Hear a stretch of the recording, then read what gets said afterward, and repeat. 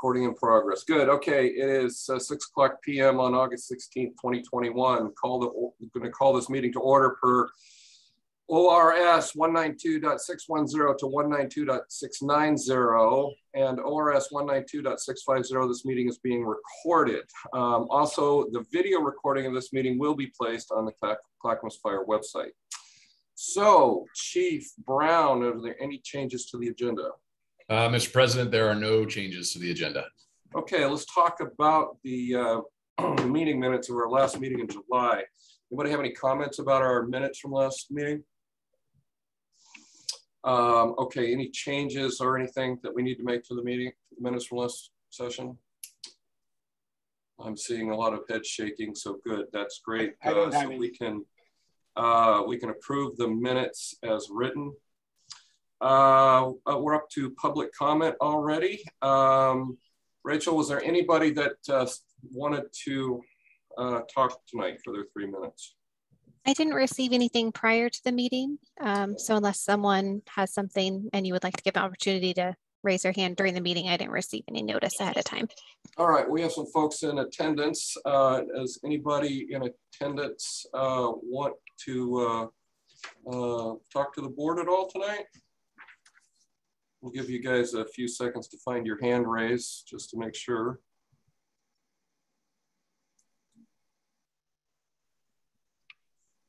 Okay, uh, it does not look like we are there. All right, everybody, we have, we're moved up to the Civil Service Commission interview. We have a gentleman, Michael Daly, um, that has applied for the uh, open spot on the Civil Service Commission. So uh, I trust everybody has their uh, packet for uh, Dr. Daly in front of them. And uh, had an opportunity to read that um, um, little bio that he put in there. Um, so want to make sure everybody is ready to proceed with talking to Dr. Daly. Um, is everybody ready to do that? You know, uh, board members, I think if it's okay with you, since we are doing this by teleconference, we'll just kind of do it like we've done it before. I'll just ask the questions and uh, we'll let Dr. Daly uh, uh, answer them. And then when everybody's ready, we'll just move on to the next question. That sound like a good idea? Okay, we got a lot of shaking of the head, so we'll go with that. Well, uh, Dr. Daly, welcome. Uh, welcome to uh, the, our board meeting, and I want to thank you for applying for the Civil Service Commission. This is, a, as you know, a very important uh, position in our fire district, and so uh, um, I want to thank you for that. But uh, we'll want to move forward and just talk to you a little bit. Um, and we did get your, we do have in our packet, we do have the um, the little bio that you put in there and the and the uh, uh, why you expressed interest of being on the on the commission, but uh, um, just kind of those generic questions. Tell us a little bit. We'd like to hear from you about uh, yourself and uh, and your interest in serving in the Civil Service Commission. Well, first of all, uh, unless you're talking to me about your cough or your hernia, you don't have to refer to me as doctor. You can call me Michael, Mike, or hey you. I even respond to uh, other lower calls too. So Michael is good. Uh, I'm very interested in the prevention of fires. I live in a fire prone area myself at the outermost limits of Clackamas, not the outermost limits, but well in the rural area of Clackamas. Uh, I'm surrounded by 20 acre and one acre farms uh, and a lot of forestry there. So in addition, I have been touched distinctly by the fire in that I had to evacuate with my family uh, with the last uh, big fire last year, just another cross to bear in the, the year of infamy, 2020. Uh, uh, so it's been very close to me. I luckily, my wife and I uh, took the Citizens Fire Academy course uh, in the prior year to that, uh, pr promoted by Glenn Ahrens at OSU. so we were pre prepared for such an eventuality that did occur. Uh, and I just was able to really appreciate the value of the course uh, at that time. As I noted in my uh, bio, so to speak, I have a strong family tradition of firefighting. Uh, I'm proud to say that my father was a deputy chief of the San Francisco Fire Department back in the 70s. Uh, and uh, he uh, was followed by my brother, who was also a fireman and was in the arson squad for years. Uh, two uncles uh, were in the fire department and they are still, uh, at least one of them is not my uncles, but at least one of my relatives is still in the fire department in Chicago. That is my son, who is a paramedic in the fire department. So uh, in, the, in essence, I have a strong family history of involvement with the fire department and most recently, my own exposure to fire in this area has made me more, very aware of the importance of firefighting.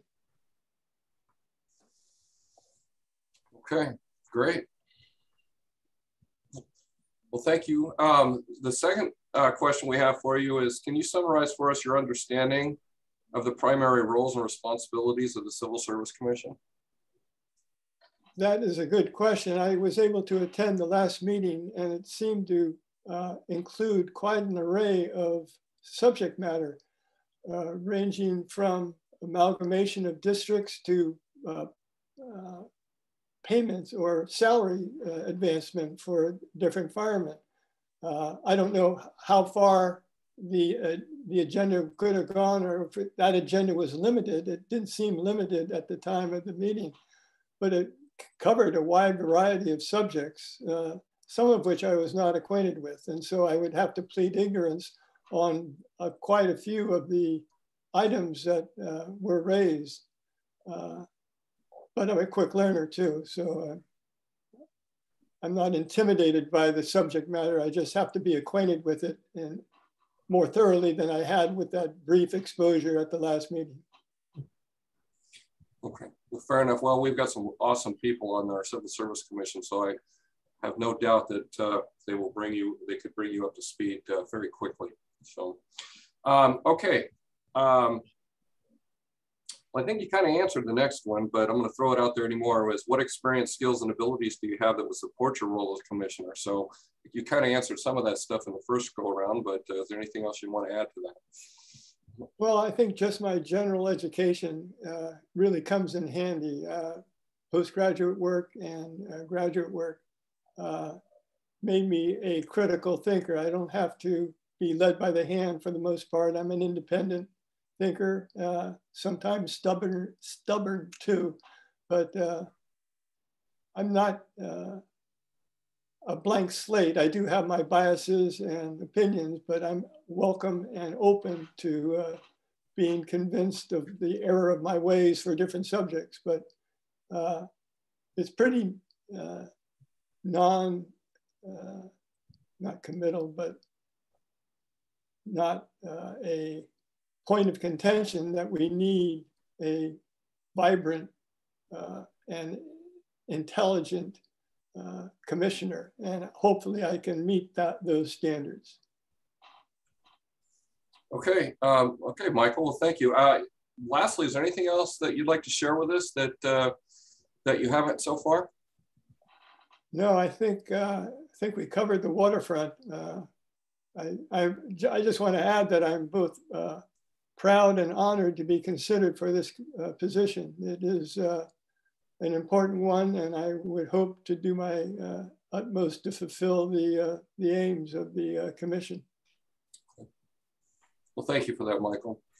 Um, well, that pretty much concludes the interview um, that we have. Is any uh, any directors want to talk to Michael about anything or ask any further questions or any comments or anything?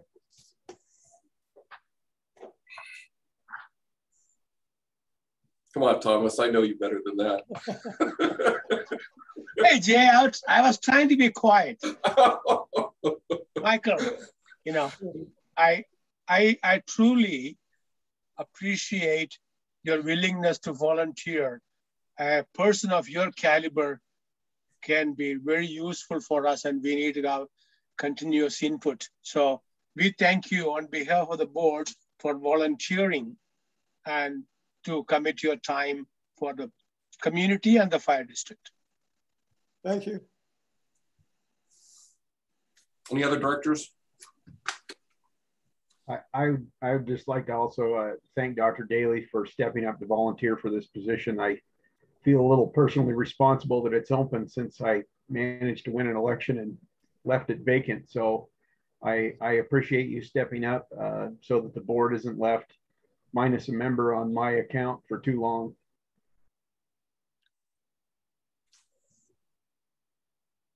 Could I ask a favor of you folks? Uh, I saw some of you at the last meeting, but I didn't uh, recognize some of the present uh, attendees. Uh, at least I didn't have the same number of, of, pictures in front of me. I had about five pictures then, and now I see quite a few. I would appreciate it if you could introduce yourselves and tell me your position or uh, title or what have you that distinguishes you. Thomas, for example, you're up the upper left corner of my screen. Could you tell me what who you are and what you do? Michael, I am a board of director for the Clackamas Fire.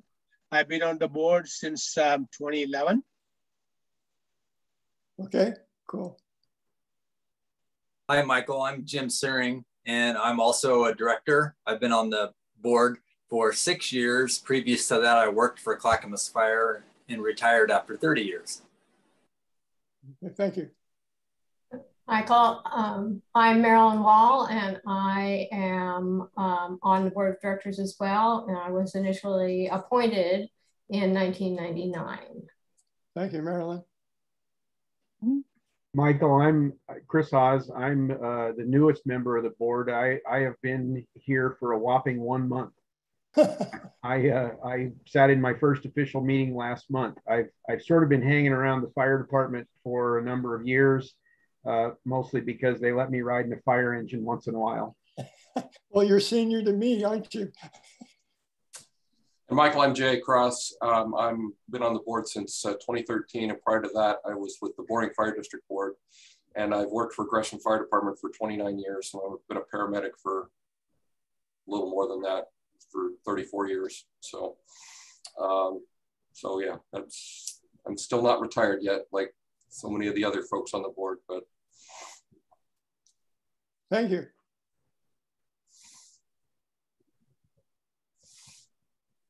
Anybody else that you're curious about? I think Nick, you Yeah, I was I was trying to figure out how to unmute myself, Thomas. I'm uh, Nick Brown. I'm the, the fire chief for Clackamas Fire. Uh, started May 1st. So um, I've got I've got three months in as the fire chief. And thank you so much uh, for coming here and and your willingness to to help make the fire district better, uh, Michael. We really really appreciate you. Thank you.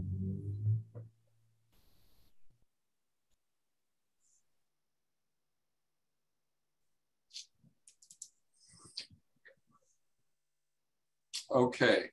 Um, action wise, do we need to um, make a motion and second and vote uh, vote for Michael for the this position? Is that what we need to do now, or does?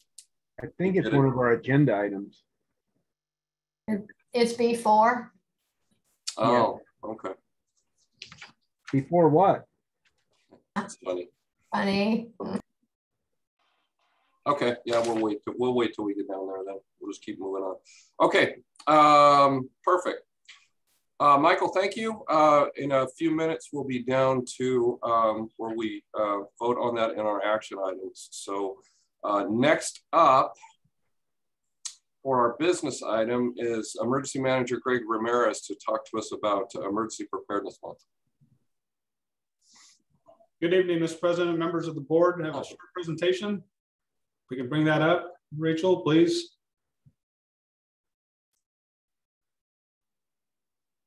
Fantastic.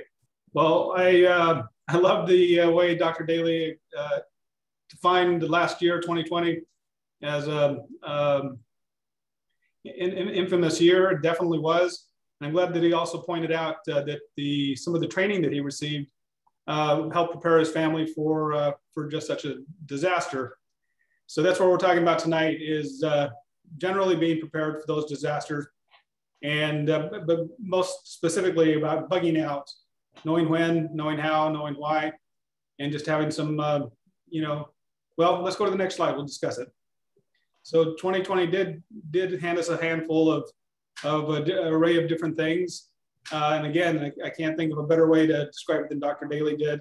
And of course, the wildfires created a, a, situation where so many people had to evacuate their homes, some with only moments notice. And what, what we found, particularly those of us that were taking a lot of the calls, uh, is people having questions with regard to uh, what does it mean? What do the different evacuation levels mean? Um, I, up until that point, I thought we had done a pretty good job of, of really evangelizing the Ready, Set, Go uh, mnemonic. I really thought we had done a, a, better job of making people aware of the different resources that are available. But um, we found that there's a lot of work to do in that area. So uh, tonight we're going to discuss that, that and what we can do for ourselves and, and the message we can take to our communities. Next slide, please. So it all starts with planning. Uh, and everything, everything has to start with a good plan. And when it comes to preparing for evacuation, when it comes to preparing your family for relocating when it's necessary, there's a number of things that you need to take into account. You need to talk about meeting places in case uh, your home family members aren't able to get back to, the, to their uh, home base. You need to have those secondary uh, places where, where families can meet. You need, to have a plan for your pets and livestock. We, we found that in the last couple disasters to be a, a huge issue. Uh, people needing to move livestock, uh, they need means and they need a location to go to. And it's good to have those things thought through ahead of time. Uh, a lot of people have pets, of course, and there's a lot of considerations that need to go along with their medications, their food, uh, finding a, a shelter that will take pets. So a lot of things that need to be considered ahead of time. A communication plan, including an out-of-state contact so that your family can uh, communicate after a disaster and start, start uh, uh, just that process of, of, of uh, reunifying and getting everybody back together. Uh, you need to know what to take and have those plans ahead of time. There's everything from those critical and vital things to those family heirlooms, pictures, things of that nature you might want to take. So ahead of time, it's, it's good to talk about it, think about it, and even practice it uh, special needs. Do You have people in your family that have medications, that have um, hearing hearing aids, things of that nature. Those types of things you need to have um, a redundancy of, and you need to be prepared to make sure that when you evacuate, uh, you take those those items that support people with uh, special needs. And then here's an, here's one that's been a big subject is evacuation routes. Um, we're finding that uh, the primary evacuation routes can get pretty, pretty congested. So you need to plan with your family, get a map out and decide some secondary ways to get out of your community when it becomes necessary. Next slide, please. One of the most important things that we can all do and remind our friends and family and neighbors to do is to sign up for public alerts. It was incredible to us the number of people that had never heard of this, this program. It's simple, it's free, it's fast, it's easy heck, I did it. So it's not that difficult. And um, just it'll, it'll forward you some valuable information, timely information, and um, it just really helps you stay on top of what's going on in your community and, and helps you be aware of, of uh, you won't be in the dark if you do this. And so again, I, I encourage each one of us, if we haven't done it, uh, to make sure that you do, and then to pass this message along to your friends, family, and neighbors. Next slide, please. So let's talk about evacuating. We talk about it in terms of ready, set, go. And you'll hear level one, level two, and level three. They're corresponding. Level one is that ready state, that ready state of where you've done your planning, you've done your, your packing, and you're ready at, at a moment's notice, and you're ready to continually monitor uh, social media, uh, web, our website, and then public alerts and just really being aware and educated as to what you need to do for your family. And that set, set is, is really leaning forward into it. That, that means you might start packing your vehicle, making sure you have a full tank of gas. It might mean that you start to initiate the planning that you that you've already rehearsed about you know what pictures, family heirlooms, uh, things of importance, prescriptions. That's really the time when you're leaning forward and you're not going to scramble at the last minute when when you get the the level three, which is go. Level three, go is not a time to be wondering, worrying, deciding. It is just go. It is absolutely the time when you just need to move out and go and enact the plans that you've got in place. Next slide, please. So here's a go bag when you're called to bug out of your home. You've heard me talk about 72 hour kits, two week preparedness. While that's all important, there's some simple things that you might need to take. And basically it's just a bag that's, it's an overnight bag, but it's more like a three night overnight bag. Uh, those type, those things that you'll need to be uh, the creature comforts you might need to support you if you're going to be out of your house for an extended period of time. So it's, quite honestly, I'm not asking people to spend a lot of money. Uh, the things that I didn't find around my house, the other items, most of them were purchased at the dollar store. So an old gym bag and a pair of sweats and a pair of shoes and, and some toiletries and and your medications, you'll you'll be you'll be more comfortable. You'll be more resilient to disaster. And it, again, it's fast, fast, easy, and inexpensive to, to put a kit together. Something you can do over a weekend with your family, just talk that process through. And again, don't forget to pack something for your pets as well, because some many shelters now take pets, but they won't have those wraparound services for your pets. They won't have your pet's food. They won't have your pet's medications, those types of things. So you'll be need to be pre prepared for that. So that is bug out and how to be ready for a bug out. It all starts with planning. And it's vitally important, as we saw this last year with everything it handed to us, that uh, we could be called on on a moment's notice to evacuate our homes. And when you get that go message, then is not the time to be deciding what you need to pack and go with you. I would love to answer any questions you might have or any uh, additional information you, you have that uh, suggestions you might have for us. Happy to entertain that. Yeah, Greg, I got a couple questions. Um, sure. During the Eagle Creek fire um, a couple years ago, we made our place available for um, farm animals. And we did have three families take us up on that from the Corbett area and we housed it up. Last year, obviously, we were level two all of last year, so we couldn't make that available. But is there a place that we can, you know, let know, register in Clackamas County or whomever with that, to let them know that our property is available as long as we're not in level two at the time? That's fantastic, uh, President Cross.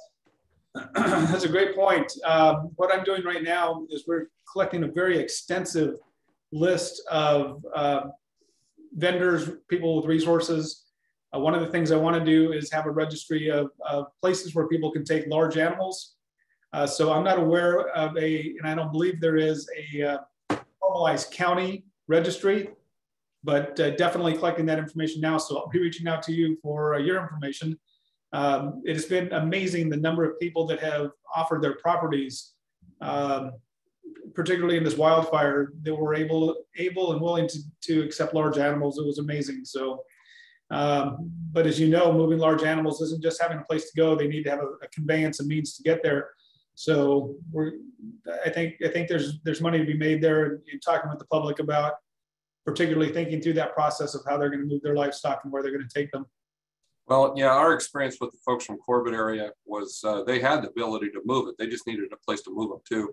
Uh, and then they obviously came out every day and took care of their own animals. All we had to do was keep them by find a fence, which was easy. So um, that's that wasn't an issue. I just didn't know if there was some sort of a cache or a, an information uh, sharing group for stuff like that, uh, other than word of mouth, because that's exactly the way we found it. But yeah, if uh, yeah, I'd certainly be uh, willing to share that with you uh, later. The other question I have for you is the the alert system, the Clackamas County alert system. where do we go? What do we do to get make sure that we're on that. Just Google public alerts Clackamas County and it'll walk you through the process. Like I said, it took me five minutes and it's totally free. Okay.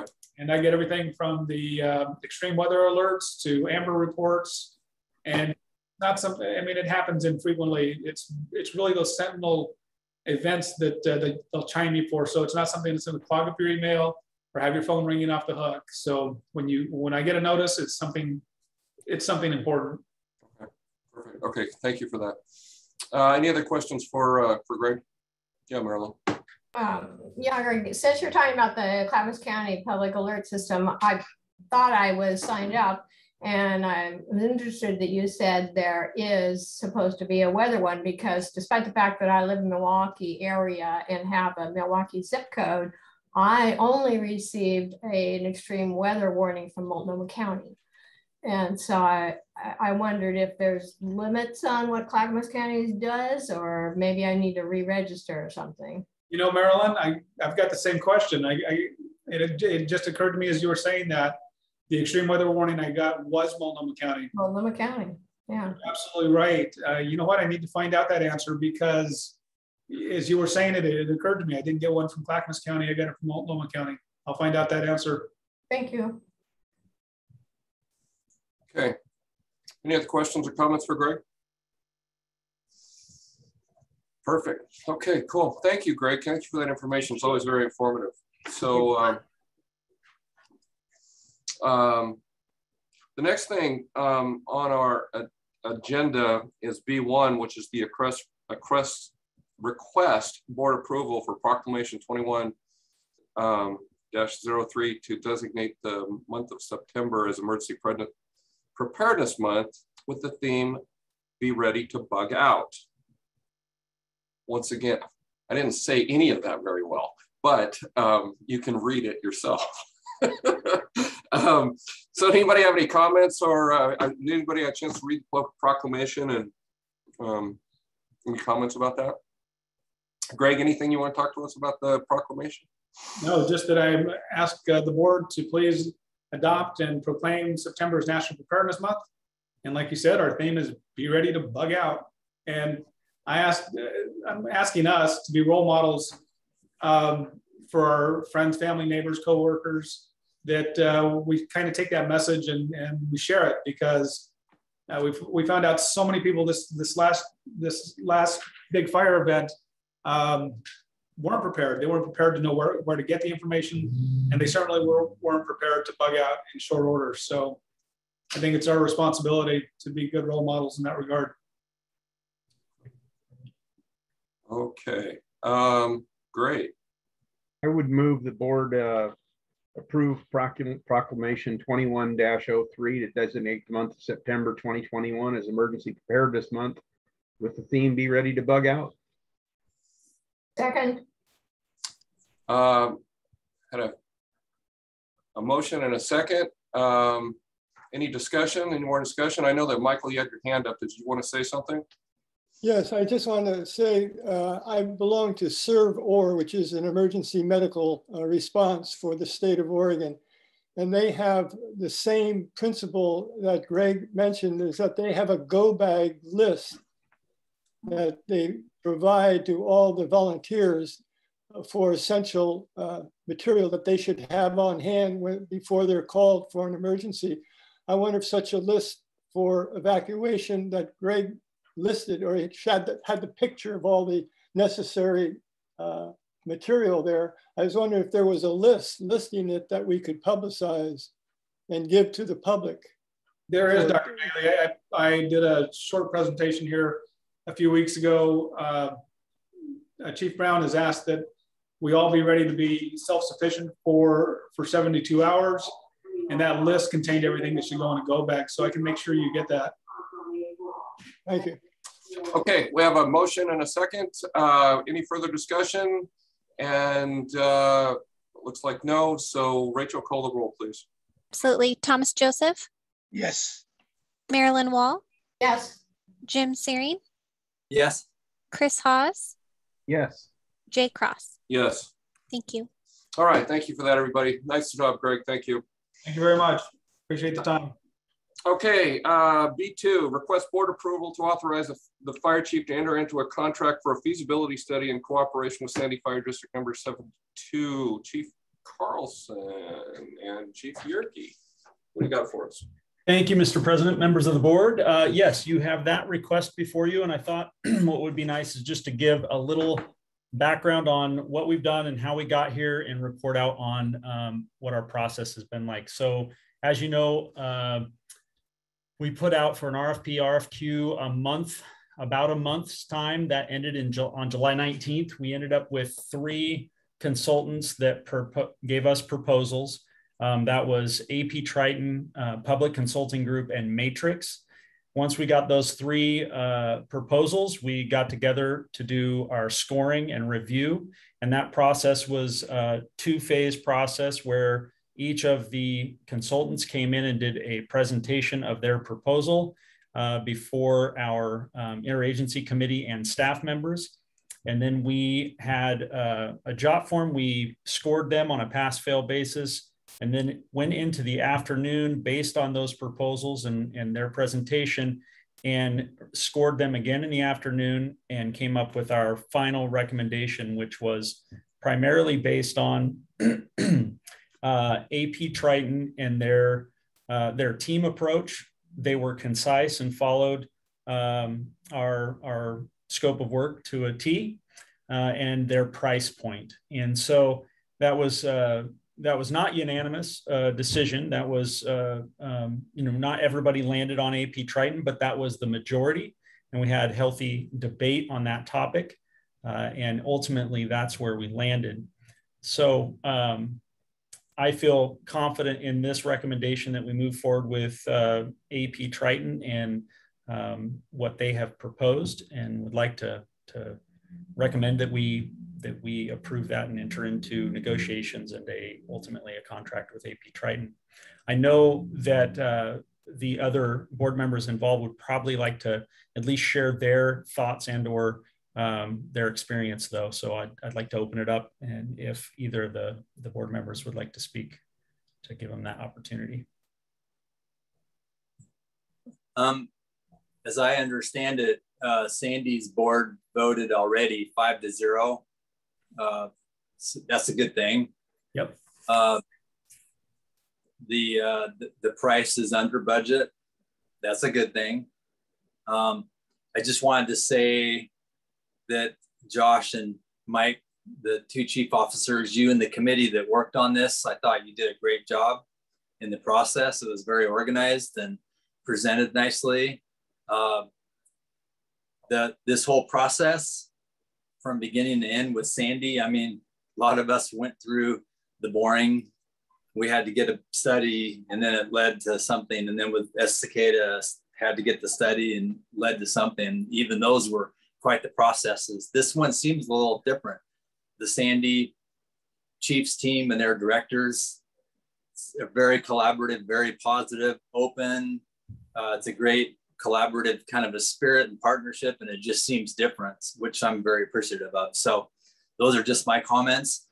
Ultimately, because uh, as some of you might know, I actually started my own consulting business and LLC. I've been doing some fire department consulting work as if I don't have enough to do, but uh, I've been doing some work with uh, several companies out there. So for, for that reason, uh, all I'm really doing is just stating that I thought the process went good. All three of the proposals, they were all good. We could take any of them and they would do a good job. But ultimately, I was going to abstain from the vote just because I've been involved out in the consulting world. So I just wanted to make that statement. But turn over to Thomas. Okay. and the rest of the, the board members and staff. Uh, I thought we had a very healthy discussion. And this, and like George mentioned, this was not a unanimous choice, but I think it is very important to have a discussion, the pros and cons of the, all the uh, companies that we were in discussion with. And finally, this is the decision of the majority, and that's what we are bringing forward. Excellent. Thank you, Thomas. And I'd like to just uh, reiterate some other points that uh, um, Director Syring brought up. So the, the bid coming in uh, with a discount involved not including um, review of our facilities and apparatus at Clackamas Fire because that has been done so recently. So that was something that was specific within the scope of our work. And so that was uh, that was noted for sure. And just to add on to what Director Joseph had mentioned is really the two standouts were PCG and AP Triton. And at the end of the day, the price point with AP Triton um, brought the group to where we where we are right now. So I'd be happy to answer any other questions anyone might have. Yeah, Chief Yerke, I do have a question. So um, the last feasibility study that we did, the information that we thought we were going to get, the information we actually got was completely a little, a little bit different. So um, are we actually, with this, do you feel confident that we're actually going to get the information that we think we're going to be getting this time? I do, and and thank you for that that question. I we we had very direct questions that we asked each of the consultants, and for this specifically, um, that was discussed. And what what was landed on was that this team and their team approach is going to be without predetermined outcomes. Obviously, that they were going to come forward with more than just a recommendation for consolidation. So I really do believe with their team approach and the way that they're they're wanting to, and we are wanting to engage our stakeholders, which is a uh, an extended list from the previous feasibility study, uh, that they, we will get what we want, which is an unbiased uh, approach to what we should be doing or shouldn't be doing moving forward as far as collaboration with Sandy Fire District number 72. Okay. Yep. I, I, have to tell you, when we, I know we have to do feasibility studies, and I understand why we have to do feasibility, feasibility studies, but I got to tell you what, after our last feasibility study, it gives me heart palpitations. So, um, uh, so I just want to put that out there. I want to make sure that we, we don't have to have Steve Dieter spend the next six months recreating it like he did last time. So, um, okay. Any other directors have a question for these guys? Yes, Chris. I, I just have kind of one that I was curious mostly because it's one of my things is undefined acronyms. Your your JOT form um, in, in my office, that could be job order tracking.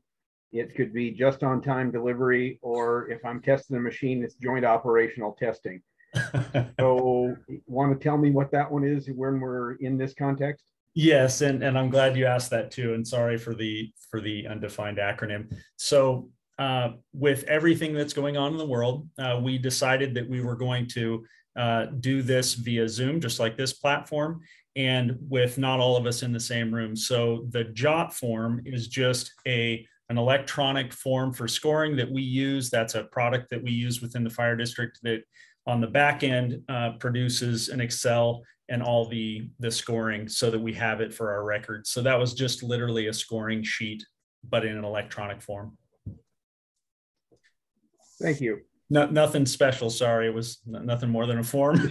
Just actually jot down notes type thing. So it's true definition. Good. yeah. Any other directors have any questions? And uh, um, and or uh, did uh, Chief Carlson want to say anything? I'm not sure that Chief Carlson's in attendance. Oh, he's not. Okay. oh, Marilyn has her hand up.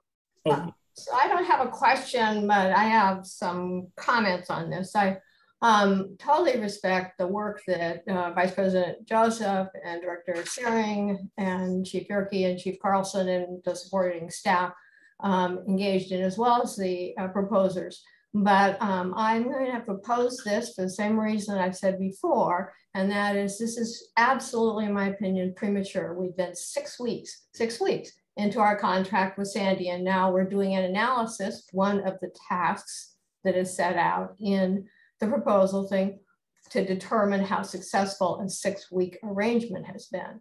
And I don't find that that is an appropriate time to do. Second, on those um, agencies that we moved forward to at a slower pace, got to know them, learned the ropes, found out what we wanted. We later on, after then doing a study, had a successful merger, unlike the Estacada one, which is like this, rushed through, and we didn't get time to, to wet our feet in the district and find out what they wanted and what they needed. And um, instead, we ended up with a failure at that junction. So despite the best pitch that Chief Brown gave me, um, I'm not um, going to be able to support this because it's premature. And that is the reason I don't have any objection to um, the selected provider. Thank you. Yeah. Yeah, Thomas. Yeah, Thomas. Marilyn, uh, I I totally understand where you're coming from. By the failure, what happened with the Estacada, we had an extensive discussion. That's one of the reasons we had a dis disagreement about the consultant selection. The consultant selection that we did not select has extensive proposal for marketing within the community, the stakeholders, and they will get the community involved and their input before we make a, any, they make any recommendation. That was not in the original discussion of the AP Triton, but since then, we after the discussion because of the budget matter, uh, we were uh, Jim and uh, our, the other board members from Sandy we have had a very, very detailed discussion how important the input from the community, the participation from the community of particularly Sandy. Uh, they, I don't want to rush through and make them believe that we are just coming and taking over. One of the things that they mentioned was that, and actually it was from the PCG mentioned how identity of a small community is important to the community. To go and have a merger or annexation of that sort can be detrimental to the community's best interest. And that's why Jim and I very explicitly have requested to have detailed uh, input of the stakeholders and participation. It's not just for the benefit of the firefighters or the staff to join Clackamas Fire, this is to benefit the community. That was very important to me. And, and Jim has specifically mentioned in that contract negotiation with uh, Triton that they will have to follow some of the recommendation that PCG had, which was not in the original recommendation of the AP Triton. And they didn't have the expertise for that and that was very important to me. And we made a very serious discussion, and that was included in the um, RFP, amendment to the RFP, the, the study, uh, the stakeholders' input and their opinion matters. Thank you, Thomas. I appreciate that. Chris. Jace, you are muted. Yeah, I'm muted. Chris, go ahead. I, I guess Marilyn touched on kind of where I was going to go with my next question because I didn't get the pitch from Chief Brown. And I, uh, kind of being new to this, I guess, I was kind of curious myself because I, I, I know we started the contract for service July 1, I think, Sandy. I was just kind of, I was kind of curious why, I guess, why now? um, and not six months from now. I, I know it's two year contract and you can't wait to the last minute and all that stuff, but there's six months and there's six weeks. So I was kind of curious of, of kind of why now. Jay, we don't have a contract for service. We have an IGA. We are not taking completely over, just like what we did in Estacada. This is a certain segment of IGA. I don't have all the Jim or Nick. Can you educate Chris on that? The uh, IGA we have with Sandy? Well, the the chief would be able to better explain the length, but uh, we've been in IGAs with Sandy for several years now. So uh, piece by piece, uh, they we started with a service and then we added a service. Well, now it's stepped up to the point where we're offering or con contracted via an IGA, command and control, which means sending an effective response force, which means sending, you know, if you, if you watch the active 911, multiple engines, going on every one of their fires, which is okay because they're paying for that. We're doing their training, we're doing their fleet now. So there in our past history, that was always a trigger point when we're doing so much that it becomes sometimes inefficient and more complicated because we're getting so involved. So if Sandy is willing to do a feasibility study because our relationship has evolved quickly, uh, rightly so, then in our past, it's always been a good time to do a feasibility study just for that sole reason alone. It's becomes complicated. And if their board obviously voted 5-0 just a few nights ago, there's some willingness on their side. So I've always looked at it that, hey, if they're interested in, in looking and evaluating how are things going now, can we do more together? And uh, is there a future? And, the, you know, we always, that leads into a whole nother discussion. But to me, this is really no different than any of the other 12 that we've done over our history. Most that were successful and uh, one that wasn't. But uh, just as far as in general, I think the chief, you could probably talk more about how many years we've actually been uh, doing services with Sandy via an IGA. It's been a couple, hasn't it? Yeah. Yes. Well, that, um, that, does raise a little bit of a question, Jim. So did Sandy request doing this? Yeah, it, in our in our in the last IGA we signed with Sandy a year ago, it said that we would talk about doing a feasibility study by January 1st of 2021, which that was eight months ago. So we did, we talked about it and then it, it was like, well, we're supposed to talk about doing a feasibility study. So then we said, well, okay, obviously we're going to need to do one. That's how it got put in this new budget year. So this discussion just didn't come out of the blue. This is, this was put in the, the con, the IGA a, basically a year and a half ago, if right. that makes sense. So it just seems like maybe it kind of popped up, but it's really been an ongoing discussion for quite some time. So, Chief, you probably. Yeah, Jim, you, uh, Director Syring, you articulated that very well. Um, this was uh, put into play uh, about 18 months ago when we started talking about uh, an, an I, any sort of IGA with Sandy Fire.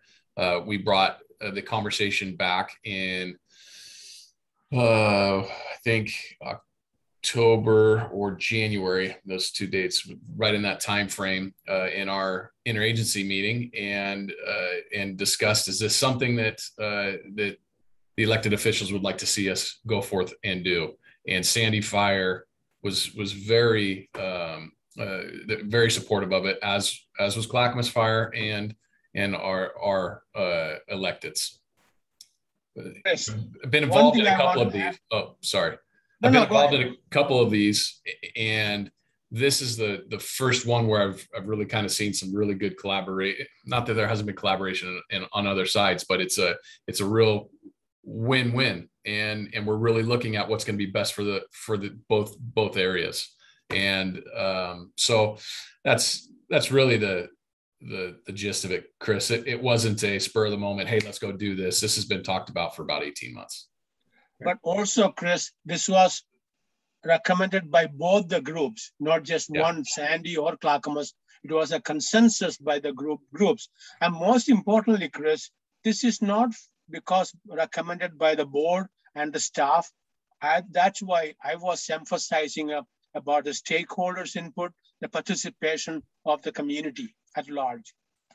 Okay. And if, if and I, could, I, oh, sorry. Just add too, I think when I was mentioning the services that we're currently contracting via NIGA with Sandy, really the one that I didn't mention, which is the most important of all, is we just Correct. opened a joint station with Sandy July 1st. That is significant. That you don't see very often. It's only the third time in our history we ever did that. District 71 in Happy Valley did a joint station, and then everyone knows we did the joint station with Boring, and we saw how complicated that was. All of a sudden, you have different contracts, you're in different unions, you have different start times, and it, it opened up all kinds of other issues and problems. Well, Sandy is contributing over half a million dollars to help us staff a station that's never been open before 24 7 that's significant so to me they they are they are a partner that stepped up to a level that you don't see that often. So one and one last piece to this is um, and Thomas this speaks to the to the public interaction. Uh, you, you, brought this forward as far as involving um, the neighborhood associations, business alliance groups, and Chief Snyder took that and and ran with it. Uh, I think you brought that up in our in our in our March meeting um, at the town hall meeting that we had in Eagle Creek.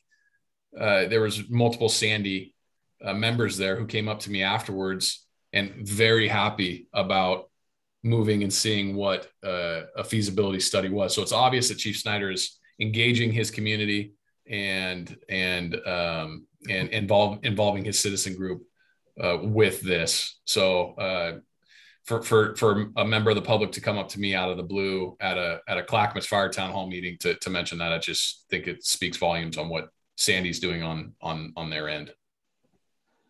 I would agree. Chief Brown, can I add one one thing to this? I know we're. Below. I would love it if you would add one thing to it. Uh, well, first of all, Director Wall, I really appreciate that you're uh, being outspoken about not wanting to recreate or re uh, repeat what we did before in Estacada, and I I agree 100%. The scope of work we actually called that out completely to say that this is not something that we want to do again. We don't want to run into um, the issues that we had with the citizens uh, not being in line and or understanding what we're what we're doing. So um, that's something that we've spoke about, and I, I know Chief Brown and everyone else has also mentioned the increased stakeholder involvement. Um, but that's part of why AP Triton rose to the level that they did because there was tremendous flexibility around engaging the stakeholders earlier um, and and really their robust team uh, emphasis on that. So it, it wasn't, um, it, it, was definitely spoke to. And so that is something that's on the forefront of all the consultants' mind uh, and at least AP Triton as well. So I hope that helps a little bit. Uh, yeah, thank you, um, but it doesn't change my mind. Um, uh, using the guise of a series of IGAs to pretend that you're not doing certain things is, is just a guise. It's a form over substance thing. Talking about this issue doesn't make it performance. And that was the problem in Estacada. They didn't see the performance. And then when they got th this thing, then there was no knitting to that community so that they were willing to overlook or forgive what they saw as our shortcomings because we hadn't established ourselves on the ground. And you can have stakeholder meetings of the yin yang and it isn't going to make any difference. It's the performance. And I think that, and it's how you get to know your community.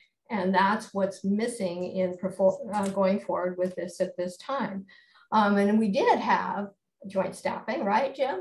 Previously with Boring. And um, we didn't do that for six weeks and then do a study. We did it for what, year, two years, three years out there. So I think that, again, it's a premature um, doing this and that the, you know, have providing um, some of the services that we've been providing that they've been paying for is no different than what we provide for anybody else. It doesn't make Sandy unique to um, our needs. And I just think that this is premature and that we need to take a more measured pace and learn the Sandy community. It shouldn't be up to their fire chief to learn it for us. It should be up to our people to learn it.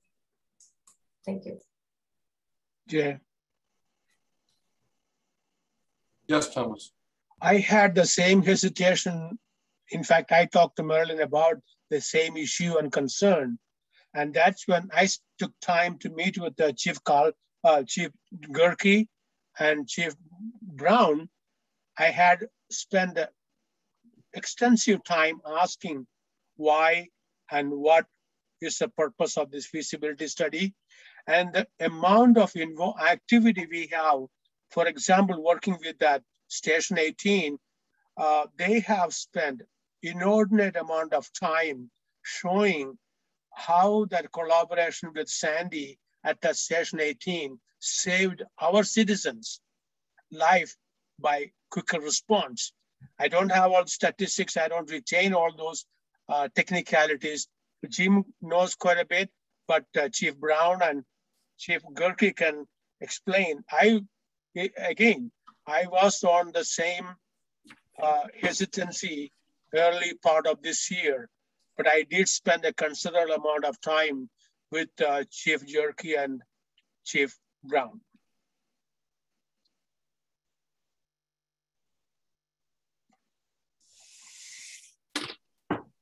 Okay, wow. Um, any other discussion about this, you guys?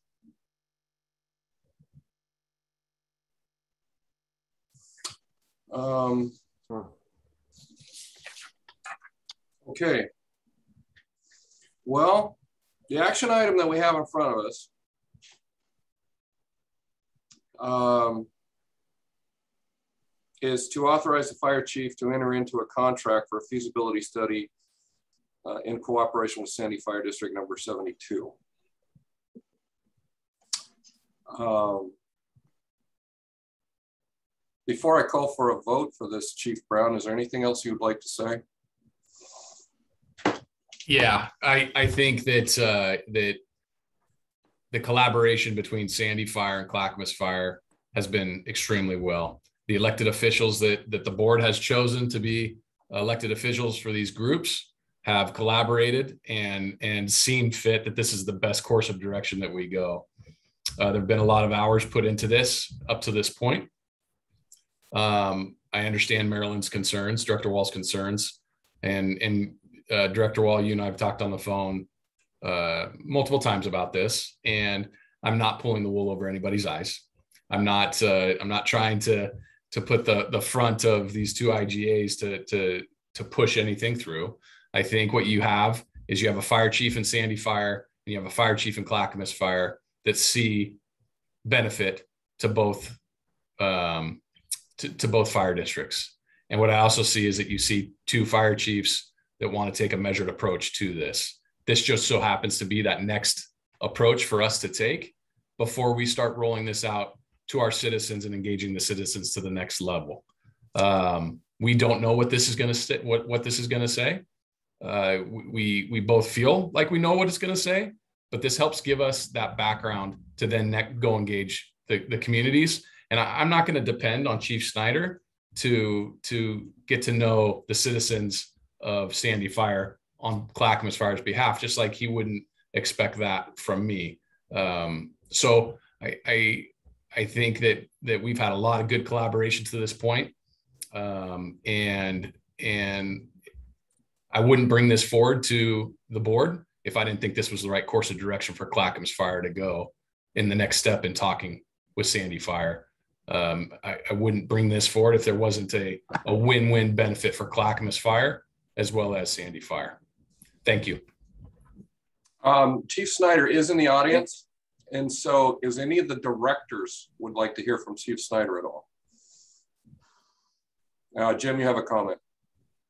Um, well, as I've already stated, I, I wouldn't be voting tonight to award anything to any individual contractor, but I, I would always vote to support doing a feasibility study if it made sense. And, and in this case, I think that it does.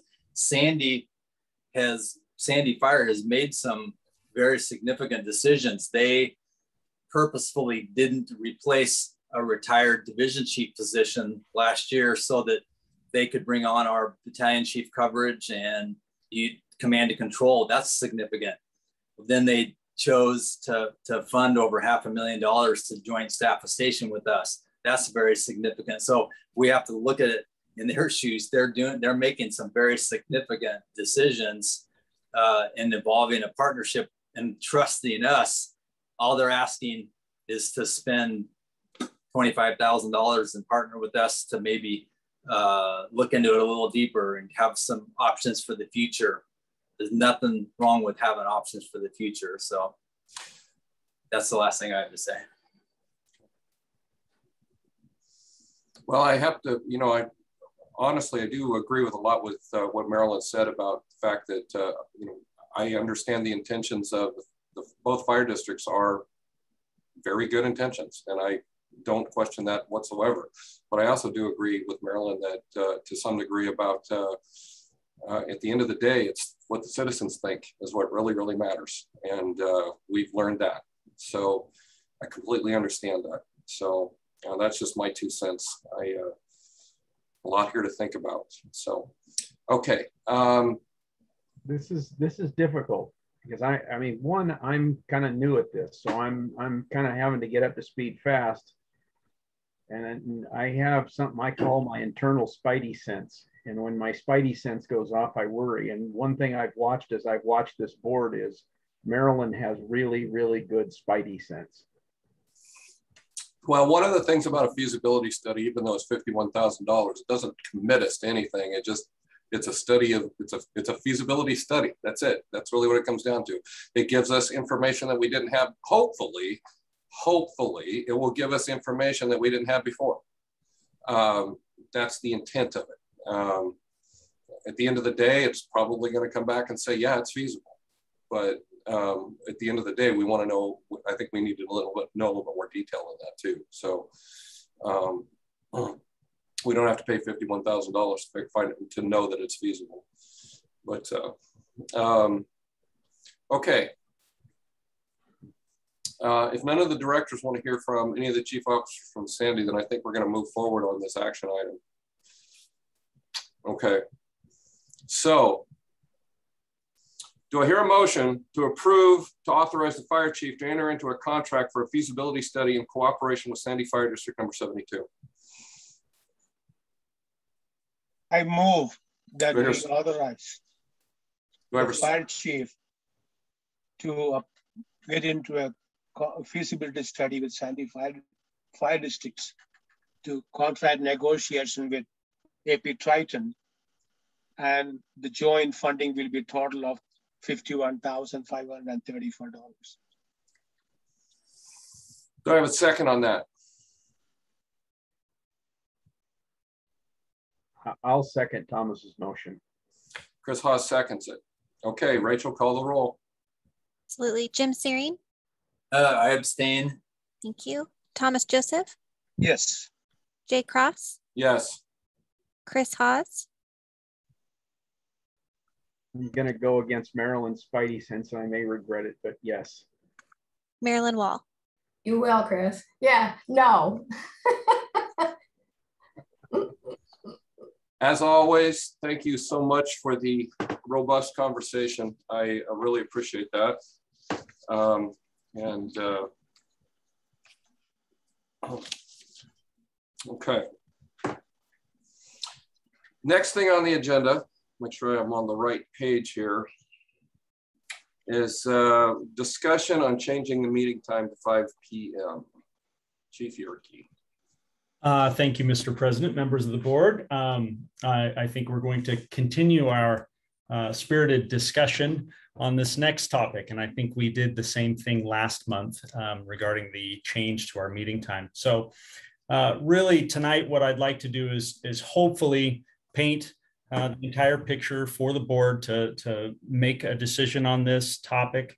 Uh, and in doing so, um, to paint that picture, we got to really uh, report back some of the things that you'd asked us to do, which is just uh, to reach out to our target audience, which is the members that attend our board meetings and ask the questions. So of the individuals that responded uh, to the proposed change, all of them agreed on and or supported a change to the meeting time.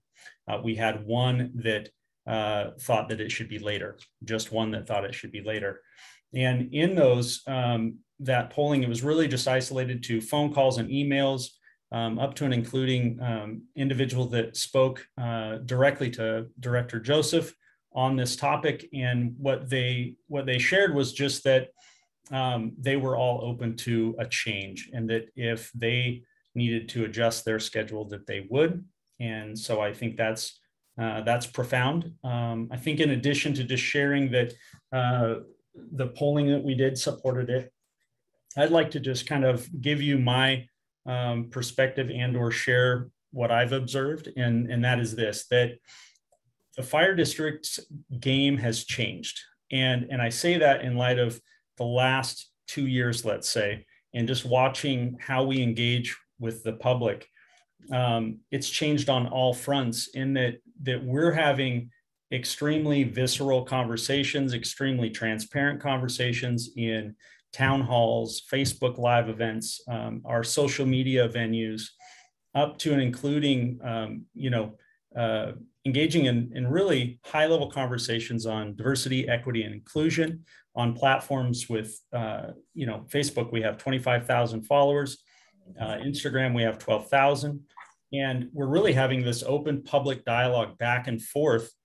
And what's unique about that is that that our board meetings all of a sudden have become the um, the small minority of opportunity for members of the public to come forward with either questions about the business of the fire district and or concerns and really have any kind of dialogue. So uh, what I've observed is just a, a, fire chief and a team that has gone out and really engaged the public on on very heated issues and, and topics that matter to the to the to your constituents or our citizens and the, the folks that we have sworn an oath to protect as as the fire chief references often.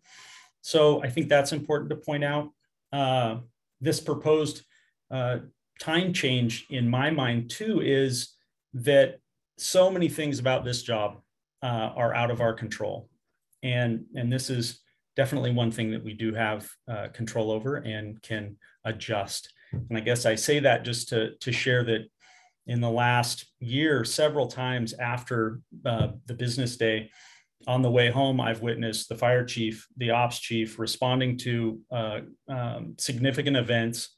And those significant events have required us to lean on our chief officers, uh, our staff, in a different way than we have in the past. Um, so the game has changed on that front as well. We are not getting slower. Um, the size and magnitude of the events that we're responding on are not getting smaller. And in some small way, I, I believe this builds capacity um, for us to respond to the very, the, the most important thing, which is just our next alarm. The very next alarm that comes into the, into the fire district um, for us to respond and do it with the greatest um, capacity that we possibly can have. Um, and so as I think about that, yes, it is a, a me one meeting a month, but we've been talking about collaboration all night. And so what's happened is this is not just one meeting uh, a month anymore. It's three board meetings uh, a month, and you add in all of the other uh, community events. And so that's just through my lens. But I think the biggest piece to me was just hearing from the, the members that do attend our board meetings and uh, they're, I wouldn't say indifference. I think they're just all in support of a change. And uh, so I'll leave it with that to allow you to uh, uh, discuss this at length as a board. But I think the other piece is just to look backwards at the last time that we did this in that uh, it required um, a two-step process, one that we engage in discussion about this, come back and uh, take action um, after that. And conveniently, we're positioned to do a review of the board policy coming up. So if, if the board does so choose to make this adjustment, it will work perfectly with next month and reviewing the board policy and, and taking that action. So. Josh, would you speak to, and you might have already and I missed it, Tualatin Valley's, that was another question that came up. Thank you. I'm sorry. I, I did not. Uh, so on the onset of COVID, uh, Tualatin moved their uh, their meeting time to three o'clock, and they have left it uh, since then. So uh, they they've adjusted and I don't know all of the the reasons behind that, other than that was the impetus of of that change. Okay. Any other thoughts, questions that that you might have? Uh, yeah, just real quick, Marilyn, I'll give it to you. Um, just I'll just start first. It doesn't matter to me. I'm okay with five o'clock, six o'clock, whatever. I'm fairly flexible here, so it doesn't. One day a month isn't going to hurt me one way in either way. So I'm I'm pretty simple that way. Marilyn. Uh, so Chief Gehrke, I guess I, my question is, um, how did you determine who to reach out to? We reached out to attendees uh, of our regular board meetings and individuals that um, uh, the board members have had uh, engagements with. So that's that's how we determined that. One of the discussions was, do we use our our um, social media platforms? But the problem with doing that was uh, it it wouldn't guarantee that we had our citizens, and and it was also um, varying levels of how we could do that on the various platforms. So it really pushed us back to a place where um, asking the people that do attend our meetings made the most sense. And how many people was that? Were that? I want to say it was a not many over seven, but we also messaged this out um, and solicited feedback. So we only got the feedback that we got. Yeah, so the issue with me, as I said before, I'm not actually opposed to this, but although despite your inference that I am, um, that it's a transparency issue for me. And, you know, as our agenda last month didn't even say what change we're going to make, just that we want to make a change. And uh, we have all of these platforms available to us. And I scoured them looking for just a little blip that says the board is considering changing their, their meeting time. Uh, if you have any comments, do whatever you want to do. And the only place I saw it was Thelma Haggenmiller's uh, letter to the her, her newsletter to the public saying that, that uh, we were considering it and please contact Thomas Joseph if you have any comments to make. And I don't know how many comments uh, Thomas got.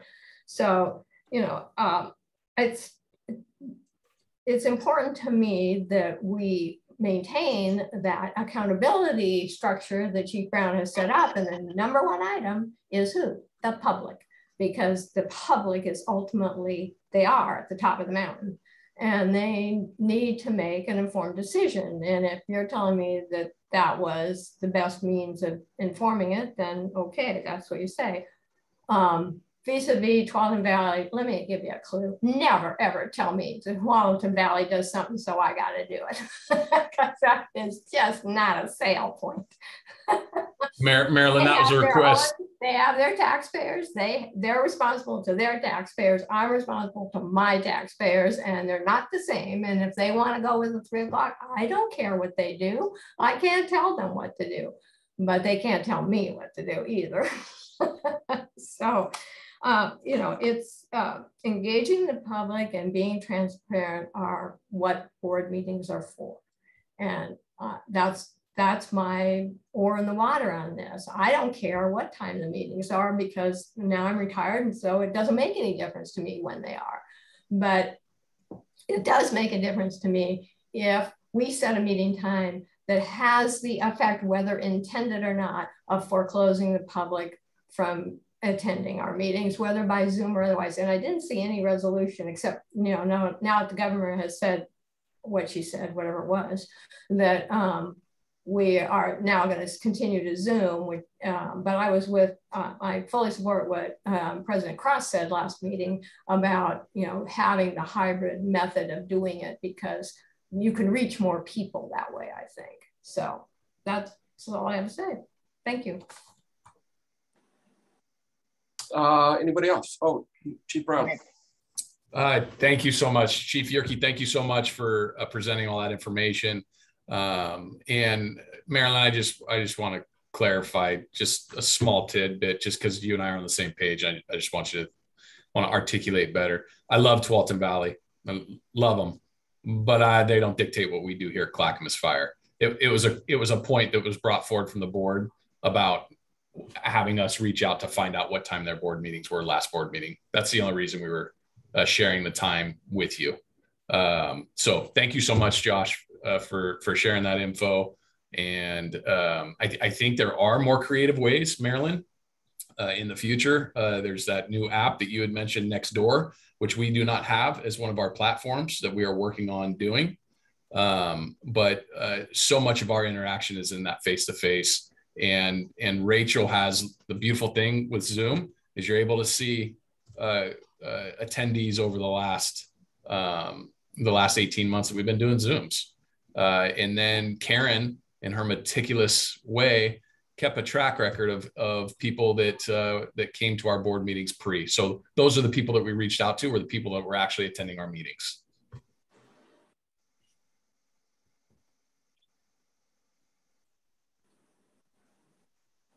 Uh, yes, Chris.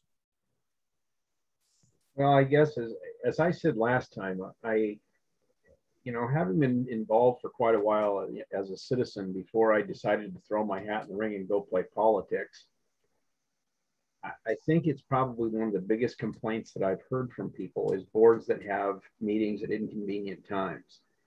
And whether five is inconvenient or six, there's a certain thing that I guess that applies, whether it's people that come to the meeting or not, is just flat optics. Um, does it does it look like we're trying to be transparent? Does it look like we're trying to make it earlier so people can't attend? And I, I it just concerns me um, because that is always a consideration. It, it's probably the most often heard complaint I've heard about public involvement from citizens is an inability to attend board meetings because it's made at a time when people are working or otherwise involved. And so it, it's difficult. I mean, I understand, and I, you know, as much as anybody, I've, I've worked late and a lot of hours and, and all the stuff, and I know what it entails. I'm just really concerned about the optics of how this is going to look to people. Um, of moving a meeting time. Now, this is in a few years, it's moved back two hours. Um, and will people understand the discussions we've had and everything that Josh has brought forward and all the all the deeper information, or are they just going to look at it and think we're we're trying to make it difficult for people to show up? So I mean, it's it's it may not be necessarily a real problem as much as a perceived one. And I'm concerned about creating that perception or the opportunity for a perception in, in, in that respect. You know, I, I, I, have to say with my, all my years working with fire service that uh, there's two things that firefighters hate the worst. They hate change and they hate it when things remain the same. So um, it, uh, to some degree, it's a fear of change or a fear of doing things the same way.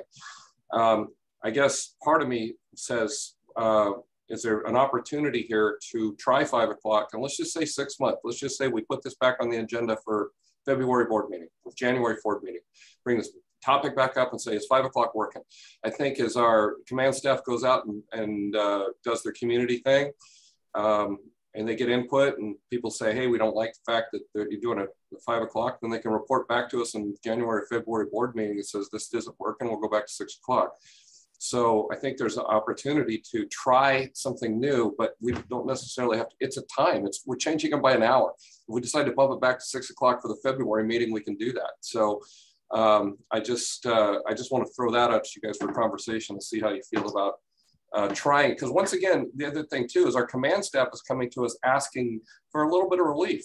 You know, for them, I mean, I know it's transparency to the public, and I agree with you, Chris. If if it doesn't matter to the public through uh, because we are meeting their needs, then uh, maybe it does give a little relief to our command staff. But at the end of the day, if our public says no, we don't like this, then we can return back to it. So I think um, I think we got to think with with uh, both hats here. But anyway, Chris, what do you got? Or Jim or Thomas? I'm sorry, what do you got?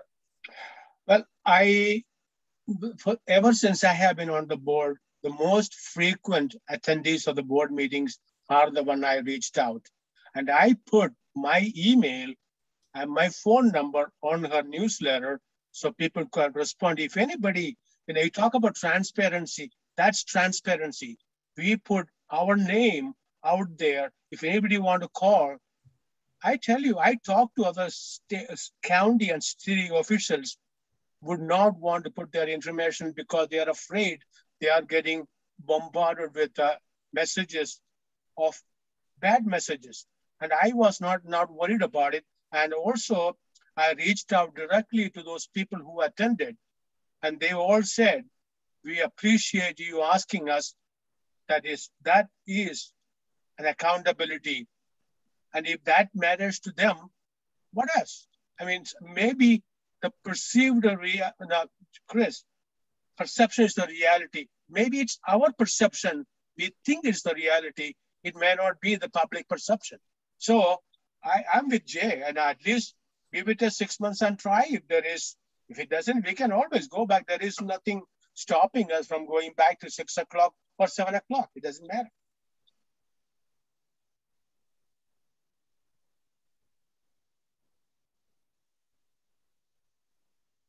Joe. Uh, personally, the five o'clock is fine for me personally, but I'm just one little old person. Uh, I would want to make sure with Chris and Jay that it worked for you for your work schedules. Uh, if uh, if that's an issue, then I would have some concern about that. Uh, Chris brought up some good points about the public perception. I think those are valid. Um, in the end, I like Jay's suggestion also about trying it for a quarter. I don't, maybe six months is too long. I think if we, as long as it was okay with work schedules for everyone, then I would be willing to try it for a quarter, knowing that three months or four months from now that we're going to actually talk about it again and maybe put it up for another vote so that we'd have that trigger point to have that discussion again. So I would be open for that.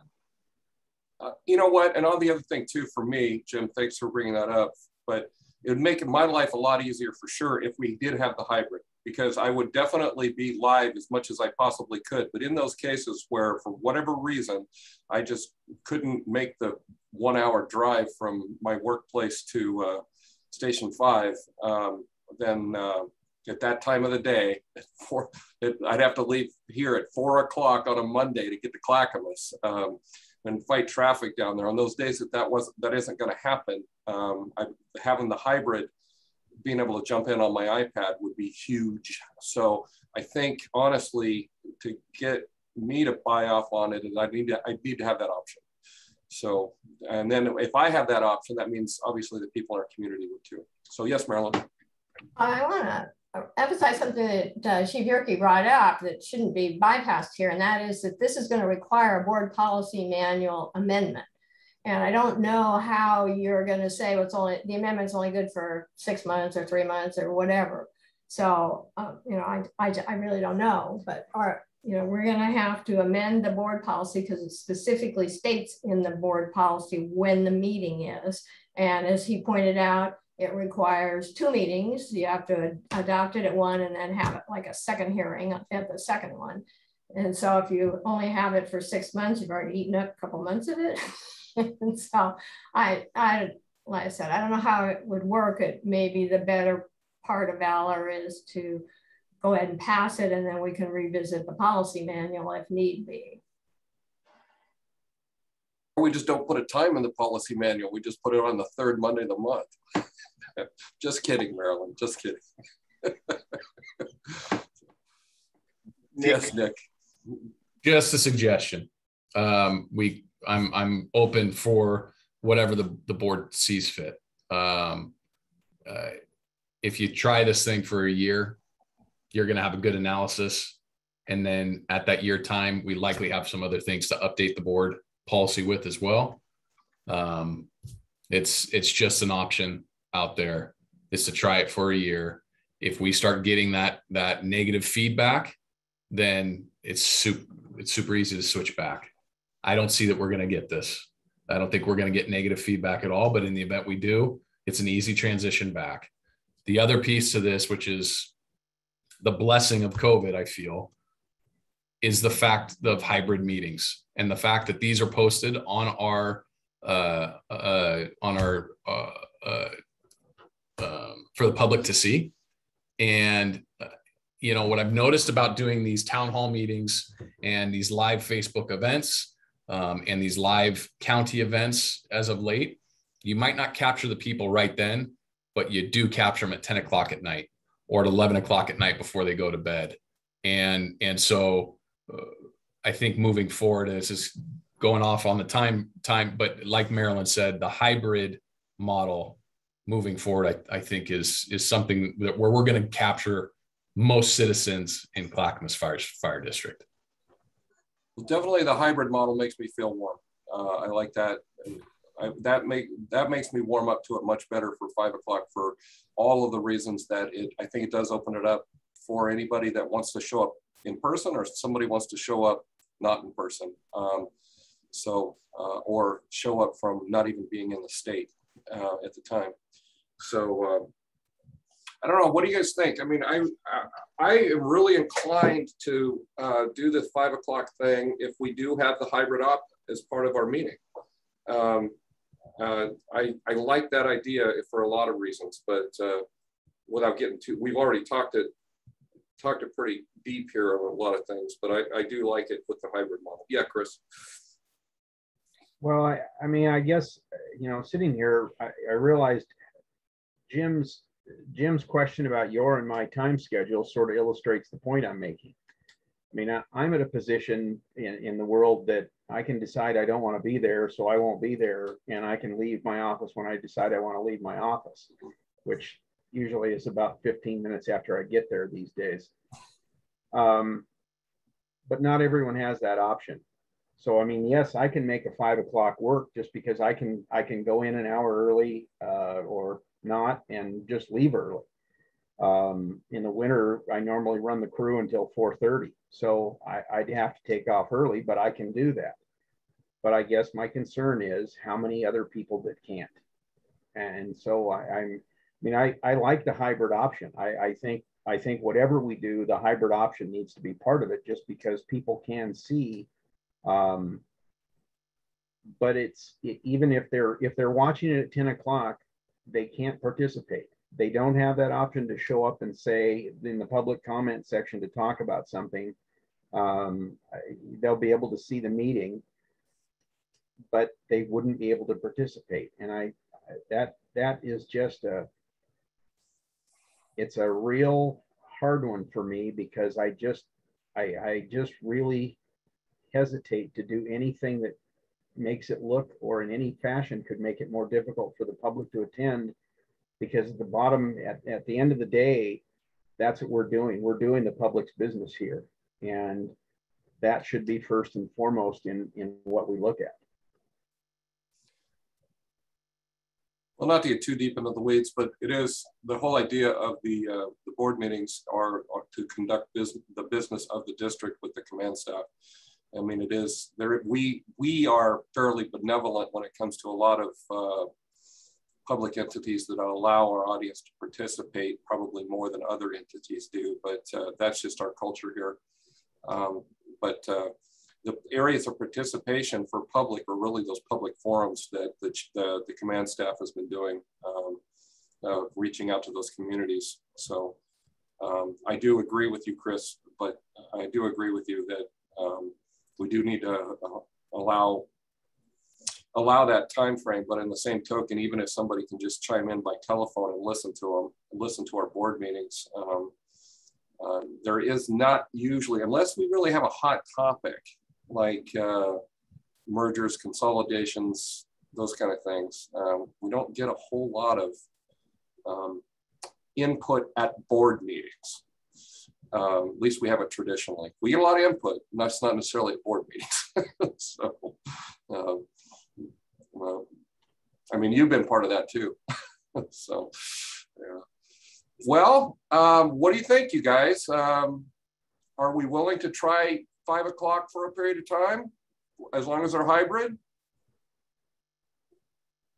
Well, we want hybrid anyway. It doesn't matter whether it's five o'clock or eight o'clock. We want hybrid anyway, right? Well, yes, but I would, I would uh, personally, uh, without the hybrid, I think the hybrid's kind of a, a, stopper for me. If we didn't have the hybrid, I wouldn't be near as willing to go to five o'clock just because it, I agree with Chris. We go to, we cut, we might cut some people off um, that we don't know that we cut them off. So, but uh, I think the hybrid's kind of a no, uh, uh, we've already stated that that's, that's kind of expected, I think, moving forward, no matter what we do. Um, we're willing to try it for a period of time, six months, a year? What do you think? Jim, what do you think? Well, at first I heard four months and then six months and then a year, but I think if we, as long as it was a short time period, I would be willing to support it if, if all five of our time schedules worked, then, and we could make them work, like Chris said, I think that's good, but I would be willing to try it for that short time period. I think you said January 1st, well, that's four months hey, by then we probably know if we hear from citizens that wanted to go but couldn't, and uh, so I would be willing to. Well, there's a couple of things here. First of all, I'm, I don't think I'm ready for a year. I don't think I want to push it out to a year before we revisit it. I think that's one thing for me anyway. Um, and I just threw January out just as a number, but uh, it also kind of depends on when we start it. Um, if we start, if we chose to start it for the September meeting, or we can start it for the October meeting. But then, do we want to go six months after we start it, or do we want to go four, three months after we started? I mean, I, I know you said something about quarterly. Marilyn had a good point though too about if it requires changing the policy manual, then you'd have to be changing it again, you know, within a couple months if you wanted to change it back. So uh, well, it's one line. That's piece of paper. Sign it. That's fairly easy. One, it's one line in the book. We say we're going to change it back to six o'clock. Yeah.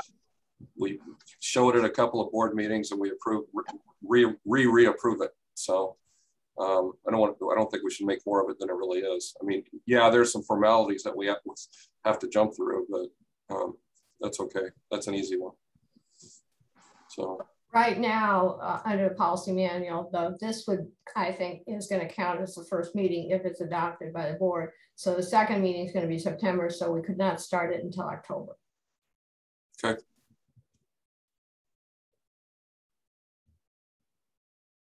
Okay.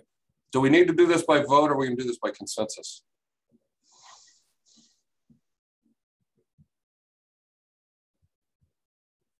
I'm sorry, I don't technically no. So President Cross, what, what I have before me is just what we had in 2018. And it's exactly what Director Wall described was that it's a board policy adjustment and that the first step is review of the, the policy, which I think this suffices. And I actually think the previous meeting would as well and then the second step is is that edit okay so i think do we at least have a consensus to change the board policy manual to reflect a five o'clock meeting start time and a hybrid and hybrid uh, meeting uh, as part of that where we have the teleconferencing and or live at the same time if nobody's going to say no, I'm going to take that as a consensus. Jay, we just need to make sure that uh, right now we're, we should we we wouldn't be able to even do hybrid because of this governor's mandates. So, um, so we just need to keep that in mind. Well, I mean, if we have to do teleconference, we have to do teleconference. Perfect. That's okay. why I kind of put the and or in there. Like the, the and or that works. The teleconference live and or however however you want to wordsmith that, but teleconference and or live um, at five o'clock or seventeen hundred. Yes, Marilyn. Um, so, okay, so I guess what we want is for section 9.3 of the current board policy meeting to take, to remove the 6 p.m.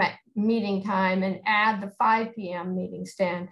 And down below where it refers to teleconferencing and or video conferencing and meeting public meeting slots to also include as permitted by uh, applicable law uh, in person.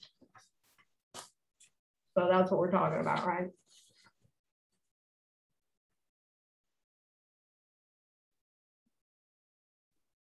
Okay. So that probably requires a motion, I would think.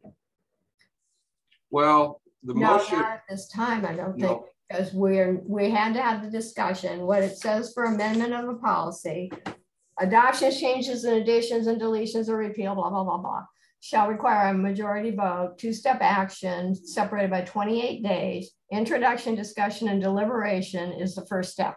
That was here. Ratification vote is at the second meeting. Yep. So that's uh, Article 3 of the policy manual. So no, there'd be nothing tonight. We would just instruct whoever's doing it, I guess poor Chief Gehrke stuck with this, to um, send a draft amendment to 9.3 to the board for consideration and voting next month. And, and I'm happy to do that.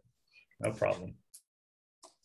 And then uh, and then after that, we can uh, when we when we talk about the uh, approval of the board policy manual, then we can talk about again um, uh, how long we want it until we review it again. If we want to push it back to February, March, April, or if we want to do it sooner, sooner that to review and see how it's going. So, and hopefully by then, if, it, if my plan works out, I won't be the president anymore of the board, so I won't have to worry about it. so somebody else can be in charge of the agenda then. Okay, any more discussion on the uh, meeting time change? All right, hearing none. Thank you for that. I always enjoy these robust conversations with you guys. These are wonderful. Um, all right. Um, hopefully this one will be much cleaner. Uh, Chief Gehrke, will you talk to us about a four-year commitment for the uh, Civil Service Commission? Thank you, Mr. President, members of the board. Yes, I believe we may have a layup here. Um, we're just requesting action uh, that we appoint the one Civil Service uh, Commissioner applicant, Mr. Daly, uh, to fill the Civil, Civil Service uh, Commission vacancy that we have. Okay, do I hear a motion to approve Michael Daly to the uh, Civil Service Commission for a four-year term? I move to approve Dr. Michael Daly as the replacement on the Civil Service Commission Board. Uh, appropriately. I second that. and Thomas Joseph seconds. Any, any discussion? Okay, Marilyn, call the roll, please. Not Marilyn, Ra- Rachel. Oh, I'm sorry. Marilyn. No problem. I got Marilyn Hahn, on the brain. Rachel, call the roll. Chris Hawes, Yes. Thomas Joseph, Yes. Marilyn Wall, Yes. Jim Syring, Yes. Jay Cross. Yes. Thank you. Welcome, Dr. Daly. Welcome. Okay, um, Thank you. yeah, thank you, Michael. Thank you and welcome aboard. And I don't know to say congratulations or condolences, but you got it. So, Thanks again. uh, um, and Chief Browne, or I guess it'll be Chief Gehrke, you're gonna help him get uh, uh, all the paperwork and everything he needs to get vectored into those meetings. Yes, we will do that. Okay, cool. Thank you. All right. Next thing is legislative updates. Genoa, what do you got for us tonight? Thank you very much. I wanted to bring you up to date on a bill that was signed by the governor, House Bill 2397. Uh, Brandon contacted me about this bill. Uh, it is one that prohibits local governments from assessing fees against residential care facilities. And there was some concern about whether or not fire districts would be able to continue to charge for lift services. I did my independent research with the caveat that I um, do not give legal opinions, but I did the, the research on the bill, um, passed it on to our legal counsel for verification, um, and verified that the exemption and the caveat that's provided in the bill that exempts lift services is sufficient to allow fire districts to continue to bill for that service. And that would have had a huge impact on a number of fire districts. I, I, I don't know what it would have, you know, what the impact would have been on Clackamas, but uh, across the state, it would have had a huge impact. The second thing was the governor's mandate on the vaccination or testing mandate for healthcare officials. The day that came out, I contacted the governor's office to verify that EMS, EMT uh, personnel were included in the definition of healthcare professionals. I believe that they were because they are licensed under the health licensing. I'm sorry, under um, Oregon Health Authority. Thank you, Oregon Health Authority. I've got my acronyms mi- mixed up. Um, they it took them six days to verify that, and uh, I, I think it's because they were being bombarded with a lot of other questions about it and the cost, et cetera. It did come back that yes, you are. Um, there's just it, it doesn't appear logistically right now that that's a workable mandate because there's just not enough testing available. Um, the chiefs had an emer- the Oregon Fire Chiefs Association had an emergency meeting, and I was called um, immediately following that meeting. Um, they wanted to know if uh, the fire district directors and the volunteers would perhaps sign on to a letter um, posing some compromises to the governor's office in light of the fact that this is logistically unworkable.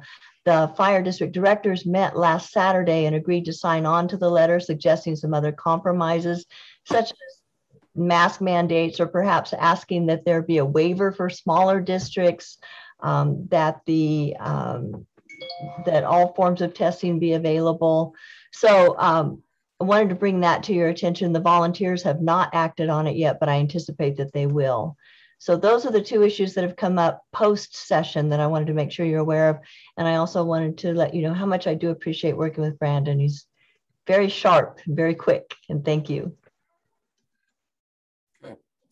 Uh, Genoa, thank you for that report. Uh, any directors have questions for Genoa? Or comments? Thank you. Okay. Thank you, Genoa. Thank you. Okay, next up, uh, board liaison reports, committee and liaison reports. And it looks like I'm up first. I will have to apologize that I did leave my notes at home for the foundation meeting, although I was there. Um, and uh, one of the things I did want to report about the uh, foundation is the, uh, the benefit auction is a go.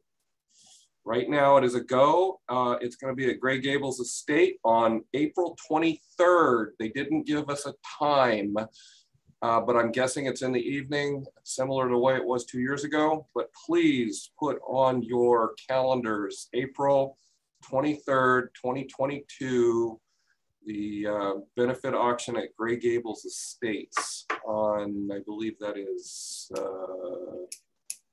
uh, I can't remember the name of the road. Um, I can see Chestnut Drive. Chestnut Drive. Chestnut, that's it. That's it. But uh, you guys know where that is. So, other than that, it was a fairly short, about a 35 or 40 minute meeting, and they got a lot accomplished. And I learned a lot because I just kind of stepped in there for Dawn. And uh, so I'm still trying to navigate my way through that too. But uh, a lot of good folks there. Um, so, very appreciative of those folks. So, anyway, next up is. Um, interagency committee, Director Joseph, just Director Syring, of anything that, uh, anything else that we haven't heard yet. We also had a, an interagency committee meeting with the city of Milwaukie. And uh, we, they are one of the few cities they want to continue to engage. They appreciate the cooperation with the district and uh, Jim and Nick Browne. You may have more update.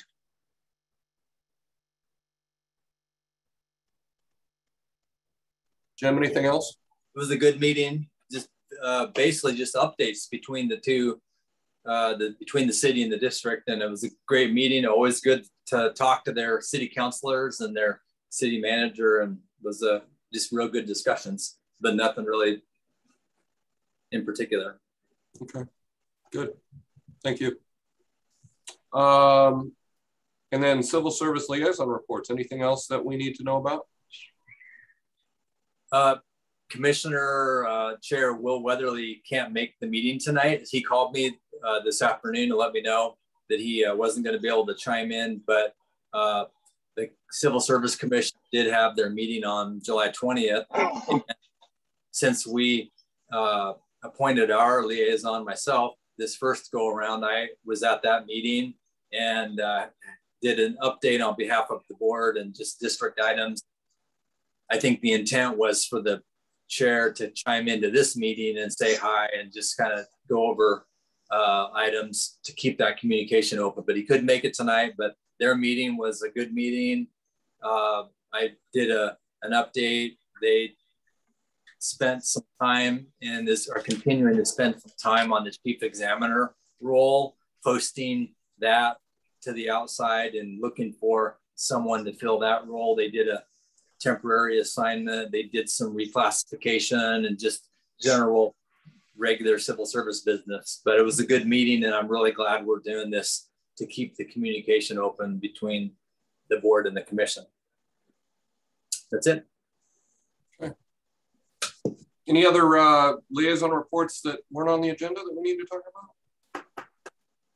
Okay, good. All right, board informational updates. Uh, I have a couple anybody else has one? Marilyn? Mute. Marilyn, unmute yourself. Okay, sorry. I was at the uh, Grove virtually um, CPO meeting, and uh, Valerie Chapman, who is the vice chair, mentioned that she was the beneficiary of a uh, grant from that's co-sponsored by the, the district and the um, and the foundation. And she was extremely grateful and expressed it to this group of which there were, I think at that time, still 28 people um, online. And um, a lot of people were interested in it and expressed um, uh, that they thought it was a good program. The only question that came up that I and no one seemed to have an answer to is that she, you know, they created all these chips with the chipper, which is what it's supposed to do. And then they were spreading them around like they were bark dust and they have this light bulb moment like, wow, we just chipped up all this fuel and now we're spreading it everywhere. So they picked it all back up and hauled it off to Metro. But I just wondered whether in part of the program we encourage people to dispose of the chippings somewhere else. so, but other than that, it was very positive feedback. Okay, very good. Okay, Doug, you unmuted yourself. Were you going to say something? Yeah, thank you, President Cross. Just to chime in there, Director Wall, with your co your comment, uh, we are encouraging the community members, whether they're grant recipients or just in general through uh, kind of the Ready Set Guy Go program and defensible space, to uh, make sure that they're not redistributing those flammables close to the house. Though, uh, to be fair, uh, even from the branch form down to a chipped up form, it's definitely going to step in the right direction, to be fair. But yeah, we're encouraging them uh, to store those uh, away from their structures or helms or whatever it may be. Uh, and Director Cross, I did want to chime in something. I just had to verify with Rachel for the foundation auction that it actually is April 2nd, not the 23rd. Oh, well, thank you for correcting me. Yep, no problem. I'm going to have to change it on my calendar now. So, okay. Thanks, Doug. Yeah, thank you. Absolutely. Thanks. Um, okay. Next, okay, and then I have a couple of things. Uh, OFDDA conference. I know I got this one right, Doug. Um, it's the uh, uh, 4th, 5th, and 6th of November. It's in the um, uh, it's in Ashland uh, at the Ashland Hills Hotel. Um, we uh, kind of finished up the um, uh, a bunch of stuff on Saturday at the OFDDA meeting. Um, uh, so you should be, all the directors and uh, Chief Browne should be getting something here probably in the next week or so. Um, I don't know if Jenna was still out there, but uh, I know that we were working on this on, on Saturday. Uh, but um, if you want to do lodging, I actually uh, talked to uh, Rachel today about about lodging for that week because I have to go down. I have to go down on the second. We have a meeting on the third, and then of course the Oregon Fire Chiefs Association's uh, golf tournament is going to be that. Then also the other thing too is this is the OFDDA is going to be doing a hybrid uh, a hybrid thing too.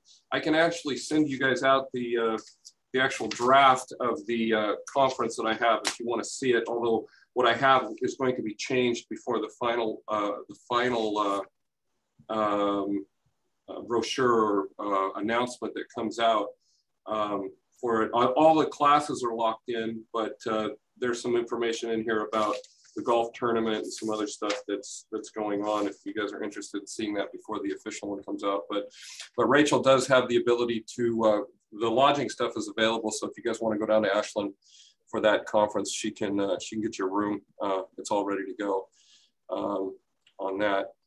Uh, any questions about the OFDDA conference at all? Okay. The uh, uh, oh, and uh, Chief Brian Stewart's got a section in there that he's going to be speaking at too. So our very own Brian Stewart will be down there for one day at least, hopefully more, but at least one day. Maybe come down a little early and play in the golf tournament. Um, and then the uh, uh, the other thing too is just we talked a little bit of Genoa talked a little bit about the testing stuff. Um, as part of my work, I've been uh, very plugged in with what's going on with Multnomah County uh, and the testing, the healthcare provider testing. And I guess for right now, uh, I've also been sharing a lot of the information with Heather and Nick. So um, I think we all just need to kind of pump the brakes a little bit on this testing thing and see where this plays out. Oregon Fire Chiefs Association, uh, OFDDA, um, and of course, many of the hospital, the hospitals, um, Multnomah, certainly Multnomah County um, uh, health office. They're all very uh, plugged in behind the scenes of the challenges this testing thing comes. Uh, so uh, I think there's going to be a lot more to come out before the end of September on this. So um, it's one of those standby to standby kind of the things when it comes to the testing stuff. And for Heather and Nick, I'll continue to uh, send you whatever I get from certainly from Multnomah County um, and from Dr. Jew as well. So. Um, and that is all for uh, informational updates that I have. Does anybody else have anything? Okay. Um, all right, next up. Um, informational items from our divisions. Uh, it looks like Chief Browne, you're up first. Great, thank you, members of the board. Um, just going to give a quick quick update and then turn some time over to Brandon. Uh, so give a quick update today on uh, health and safety section. Um, on uh, 7 8, Oregon OSHA adopted an emergency rule to protect employees from the hazards of high heat. And on 8 9, Oregon OSHA adopted a temporary rule to protect employees from wildland smoke. Each rule gave employee employers about a week to have mandatory training for all personnel on this. So the health and safety chief, uh, Heather Goodrich, has been busy diving into getting this mandatory training out and, and, and implementation of of all the Oregon OSHA standards and mandates that have been uh, been thrown thrown our way in the last uh, you know let's call it 45 days. Um, also, uh, dialing in the physicals for the recruits and and issuing those uh, fit testing. Um, uh, obviously, with the changes with COVID, that has been occupying a lot of the uh, health and safety division's time. Um, thought this was pretty cool that uh, we've had a couple agencies, uh, West Jackson and South Kitsap, uh, reach out to um, to to ask us about our health and safety program. Um, and uh, health and safety is uh, preparing for AUK Health for, uh, coming up. So super busy in that division. appreciate all that that health and safety chief Goodrich is doing for for the members of Clackamas Fire. And at this point, uh, pass it over to uh, Brandon to talk about governmental affairs. Chief Paxton. Chief, thank you, and uh, members of the board. Good evening. Uh, just a, a, few couple uh, few updates from government affairs slash public information. Uh, in July, our focus was community town halls and engaging that conversation around wildfire. Still a lot of anxiety around that topic, as you can imagine, with the temperatures the way they've been, the fuel moisture content the way it's been. So uh, our staff, uh, led by Chief Browne, went out to three community fire stations, Eagle Creek, Beaver Creek, and Redland, to engage in a conversation around um, the wildfire topic. So within that, we took a look and reviewed 2020 and the incidents that occurred and, and kind of how that landed on our back door. We focused on the 2021 outlook and what we can expect through the rest of the season and then provided some additional resources uh, and updates around the additional resources that we have now, uh, namely Crew 30, the addition of a Type 3 um, urban interface vehicle and the upstaffing of Station 18, as well as uh, talked about Ready, Set, Go with Captain uh, Carrie Shanklin providing that information. So uh, they were really well attended. We had over 100 people join us for all three of those, um, or in total for those three events. Uh, the middle event, the Beaver Creek Station, was broadcasted. We had a videographer from Clackamas County come and it was on Clacco TV. It's the uh, public access TV program run by Clackamas County. So we were grateful to have them there. Really kind of was able to spread out that information amongst various folks who wouldn't uh, otherwise be able to attend any of the events. Uh, additionally, we joined the City of Happy Val Valley and their counselors to share the same updates and the same information regarding the wildland topic. And then Chief Browne visited the City of Milwaukie, uh, again, sharing that same conversation and some information around, you know, fire district updates. Uh, it's been a busy time for us uh, in terms of emergency response and public information. Month of July brought 188 story hits, and so that's every time uh, we're inter interacting with the media throughout the month, and it's covered within uh, the local media outlets. Uh, the most significant probably was the Highway 99E fire. It was about 10 acre brush fire that spread up over the bluff uh, and caused the level three evacuations up off of South End Road. So again, yet another opportunity to exercise the emergency evacuation system, uh, partner with Clackamas County and the Sheriff's Office. So on the heels of that, we really took the opportunity to meet with those two other groups um, to streamline our evacuation process and really what happens within the first two hours and who owns that and how that information is shared. Uh, so I think we've got some great steps moving forward to, to make that a great process. Uh, Genoa already covered, but we uh, had some discussions re regarding House Bill 2397, the impacts to our ordinance that we have in place, and she shared the details of that. And then uh, just one highlight, we rolled over 12,000 followers on Instagram. So I want to take the opportunity to say thank you to Tracy Grisham, who has been outstanding in, in kind of modifying and, and growing our social platform and, and helping our team get there. To put that in context, uh, our followership um, back in February of 2019 for Instagram was 2,299, and here we sit at 12,000. So it's a great way for us to engage the community, have have good two-way dialogue in the online space. So um, that's it for me for the the month of July.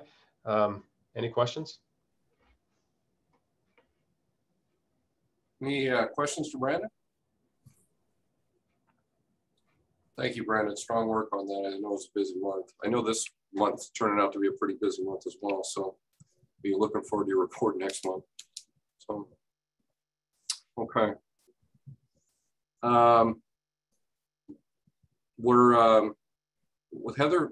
Heather, were you, did you have some comments? I see you on the agenda tonight.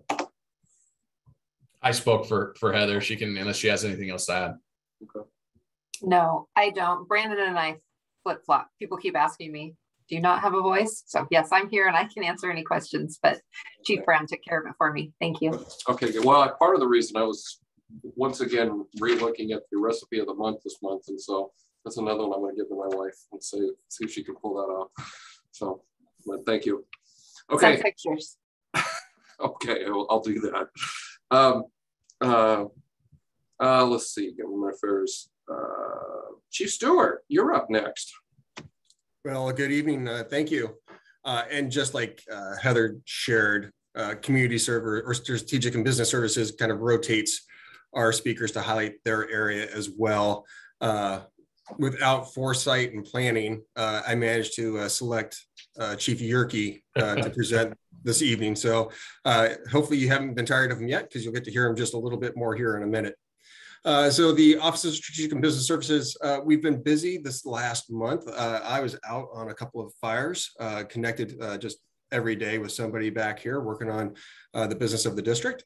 but a few of the things out there, we spoke about IGAs earlier and just relationships between organizations. I just wanted to share that Chief Huffman and I met uh, the other day. We have conversations every now and again, but we happened to grab lunch uh, with the fire chief uh, when he was back in town during his vacation, uh, just to kind of catch up on where the fire marshal services and investigation fleet services have been doing. Uh, he's been very pleased with those services.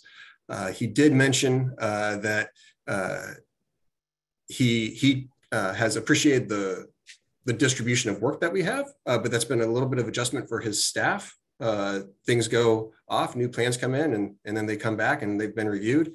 Uh, whereas maybe their former uh, fire marshal might take longer just from workload and everything else. We're able to get things turned around a little faster. Uh, and it sounds like Denny uh, Dahlgren, who's been the primary fire inspector down there, has just been doing a fantastic job of building relationships uh, with his employees as well as the community.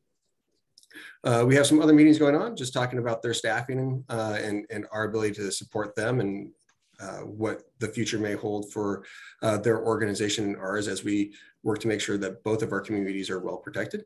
Uh, those conversations uh, uh, just continue. And I think I'm meeting with him tomorrow morning just to kind of review that. And we're going to introduce him with Mark Whitaker or tomorrow afternoon just to help him expand his knowledge of our team. Director Hicks has also been working kind of across our partner agencies with the Fire Defense Board uh, and other dispatch centers. Uh, so last month, he secured the support from each of the fire agencies uh, to uh, help fund a second NetMotion server. Uh, so this one's in the cloud and it really helps make sure that we have uh, kind of business continuity and flexibility in how we work and where we can work from. so it's fantastic that the other agencies were willing to support those with some dollars from each of their, their general funds. Uh, he's also been working with uh, CCOM, LOCOM, and WACA. Uh, each of those agencies have a, a thing called a, a, CAD replication server. And um, we've had issues with uh, that connection uh, going down, which causes some ESO and delays in reporting there. So he's been working with those agencies as well as Tualatin Valley Fire to uh, help make sure uh, that that gets supported and see what we can do about getting a, a secondary replication server or, or, what kind of backup we might need for that. So that continuity is there as well.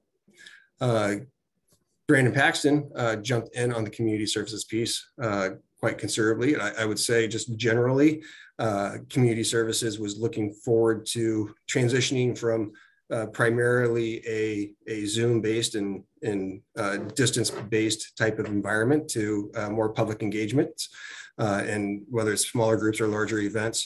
Uh, and we have supported a couple of things, but it looks like that window may be changing. And so all the work that they've done certainly was not for not, but they've got more work to ahead of them in terms of how to adapt to that new environment or that the returning environment. Uh, the fire marshal's office, a couple pieces from them.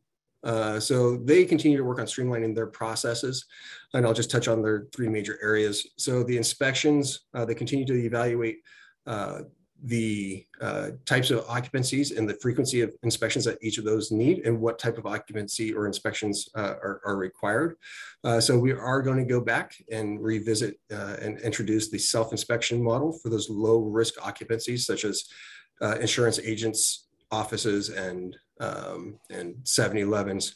Um, we'll be re-implementing that next year. Uh, so they're working on that process. They've also worked on a process for online plan submittal. This is an intent to streamline pieces for the uh, for our uh, plan reviewers as well as the developers and other building officials. Uh, they've been working with uh, each of the cities, uh, and now the uh, the county has adopted a new plan review process. So they're going to look at um, which one they should be utilizing, with the goal again of streamlining and making things efficient, not just for us, but the other customers and partner agencies.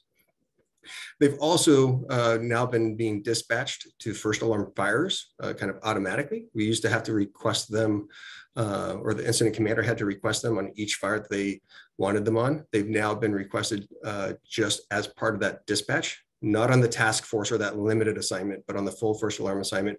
Um, and that's been a, a positive uh, outcome. Uh, it's been well received by both the investigators in terms of what they've been able to get from first due units, uh, the scene being more preserved by the time they get there. Um, and the ops chief is reporting that their crews are getting released uh, a little earlier. One of the things that you will see uh, looking at next month uh, would be uh, requested amendments to the um, cost recovery ordinance. we are looking at some changes to our uh, costing uh, for self inspections, not if they're compliant the first time, but if we have to follow up on those, um, that we would be looking for some reimbursement for those costs, um, as well as the engineering um, expenses that we've been incurring, uh, looking to get those from uh, the developers as well. So we'll have a, a more robust conversation about that, uh, either at a work session or at the, uh, the next board meeting. And then the last couple of pieces, I'll just talk on support services. Uh, July was a busy month uh, internally with calls, internally with uh, needs uh, for EMS uh, support in terms of fleet support. for example, fleet had restarted the Hoodland and Sandy IGAs. it's a high vacation month. We had conflagrations where they had to re, uh, work on and return units back to service after a series of conflagrations. Um, they were dealing with issues with vehicles with from the high heat, um, and fleet continued just to knock it out of the park. Um, needless to say, uh, we hired a new fleet tech for them based on the Sandy and Hoodland IGAs that started last week. Um, and while they did a fantastic job in July, I'm sure they're welcoming uh, Paul Eggleston with uh, with a lot of relief and, and looking forward to uh, having that additional capacity. Um, and then logistics, uh, speaking on uh, another piece, as I've spent more time down at logistics over the last couple of months, uh, I've been really impressed to see uh, the engagement uh, with Deanne uh, in different component parts of our organization, whether it's operations um, or the support services chief or our emergency manager in making sure that our vehicles and our apparatus and the equipment that we have on them, the radios to the hose, um, are ready not just for the day-to-day piece, but for surge requirements. Um, it's just been very impressive uh, to watch and see. Um, with that, I'll turn it over to uh, Josh Gehrke, and then I'd be happy to answer any questions at the end of his report. Excellent. Thank you, Chief Stewart. All right. So out of human capital, I'd like to point out a few things. Uh, we have uh, posted the chief examiner's position, and that is open currently. We've gotten no interest thus far in that position. We additionally have a captain's test that was uh, reposted, and we currently have 10 applicants in that process. Uh, you may have noticed also uh, in the report that there was some uh, investigation into fraudulent unemployment claims and uh, all individuals that were involved um, have been notified. And I think the important piece there is that none of our employees were uh, engaging in that fraudulent claim. Um, but that's something that's been going on right now and is an uptick uh, statewide. So, anyways, they have been notified and um, um and all of that has been dealt with. So I think that's pretty important.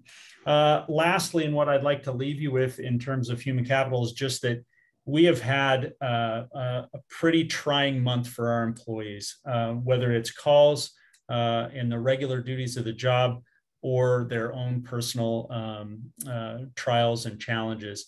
And I guess the reason to share that is this. Uh, we are a resilient group, a resilient uh, um, family. And what I witnessed was just a tremendous amount of rallying behind each other and, and lifting each other up uh, to do the right thing and take care of each other so that we're ready to take care of the citizens when they're at their uh, greatest need. And we've had employees in the same position. So uh, I applaud everyone that's stepped up and, and doing the right thing and just taking care of their uh, fellow family members. Um, but the thing that I noticed was just that we are an extremely resilient group, and that is what's going to make the difference in uh, making a long, um, safe career to the end and, and, and being happy. So uh, I'm proud of everyone that I uh, worked with and through all of those things. And I'm just, uh, I'm happy, proud of this group for how we take care of each other. So I'll leave it with that. Right, thank you. Um, yeah, go ahead, Jim. You go first. I've got a question as well. Um, hey, Brian. The the data services report that Shelby normally does this part of your section that has all of the apparatus responses and mutual aid numbers and all that. I didn't see it anywhere this month. Was it all uh, missed? I was, since it was the first month that Estacada was independent, I was really super, super curious to look at the mutual aid numbers and I couldn't find it anywhere in the report. Uh, that's a great question, and I will have to uh, apologize because it's not in the current report. Uh, and did I, anyone else notice that that all the apparatus responses and calls and mutual aid numbers were all missing? Yeah, and I'll have to look into that, Jim. I'm not. Uh, I wasn't. I, I, didn't catch that it was not present in the report, and I wasn't apprised of of it not being there. Um, I, I will take a quick look unless you are or certain that it's not in the operations section alternatively. Yeah, it's not in the operations section okay. either. Yeah, we'll make sure that that's uh, included with the next uh, board packet as well. So you have both July and then August. Oh, perfect. So, and the, the only thing I can think of, and, and if it came across my desk, we did have the issue with ESO and that CAD replication server, which might have delayed some pieces. Um, and with me being out on the fires, I might have kind of just missed that piece, but we'll make sure we get it to you. Okay. Thank you. Thank you for that. Hey, Brian, I got another one, one other question for you on the cost recovery stuff that you're going to bring to the board next month. Yes, sir. Uh, is that uh, is that kind of consistent with uh, what other fire department and other fire districts are doing when it comes to their cost recovery programs? Uh, certainly, yeah. There's nothing uh, out of uh, outside of the norm that we would be looking at, uh, and looking at uh, charging for uh, inspections, and, and, we're really looking at just the self inspection piece, and it's not an intent to um, charge people to do the self-inspection. It's um, to make sure that we're being compensated if after really two opportunities, they, they get the first notice, they get a second notice, and then we either have to follow up or go do the inspection, um, that we would be compensated for that piece. Um, the use of, uh, I guess, fees for inspections has been varies across the state. Um, Portland charges uh, just for every business inspection that they do um, for the first time out because there's a cost associated with it. Um, some charge for reinspection, such as we currently have, uh, I believe, for our second reinspect uh, in there. And this is just going to add on for the, uh, again, follow up on those self inspections would be the change. And then the fees for the um, the plan review uh, is very consistent. Uh, again, some places uh, are charged for it, others don't. Um, many places capture that within their building department.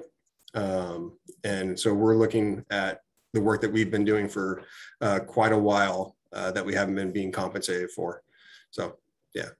Okay, perfect. All right, cool. Thank you. I look forward to seeing that next month or whenever you get it put together. So, perfect. Okay, uh, any other questions for um, for Brian? Okay. Um, capital support services. All right, we are down to financial services. Uh, Mark. Uh, good evening, uh, board members. Can everybody hear me all right? Um, yeah, so just uh, a quick a quick update on on financial services. Um, you know, the the most of the finance team has been busy with, in addition to their regular duties, uh, with with year end processing and trying to um, get all of the the year end activities, um, invoices for requisitions, all of all of that complete. Um, you know, I will, you know, our, our tentative results are that we did we did come within within our budget on the expense side. It's it's very tight. Um, my current estimate is we spent about 99.8% of our of our budgeted uh, general fund. Um, and on the opposite end, uh, looks like we took in a little more revenue uh, than we had budgeted. Um, so both of those are, are positive things and should result um, in at least a, a, minor increase in our in our fund balance um, when we adjust to to start the new fiscal year. Um, a you know the other the other thing to look forward to at the next board meeting is is I'll potentially be coming forward. Um, I'll I'll complete a forecast of our cash situation for between now and, and November um, to similar to last year, see if if if the district um, may need to be prepared to borrow funds temporarily to to bridge any gap between um, between now and when tax revenues truly start to come in, in November. Um, so I hope to have more information on on that um, for for the next the next board meeting.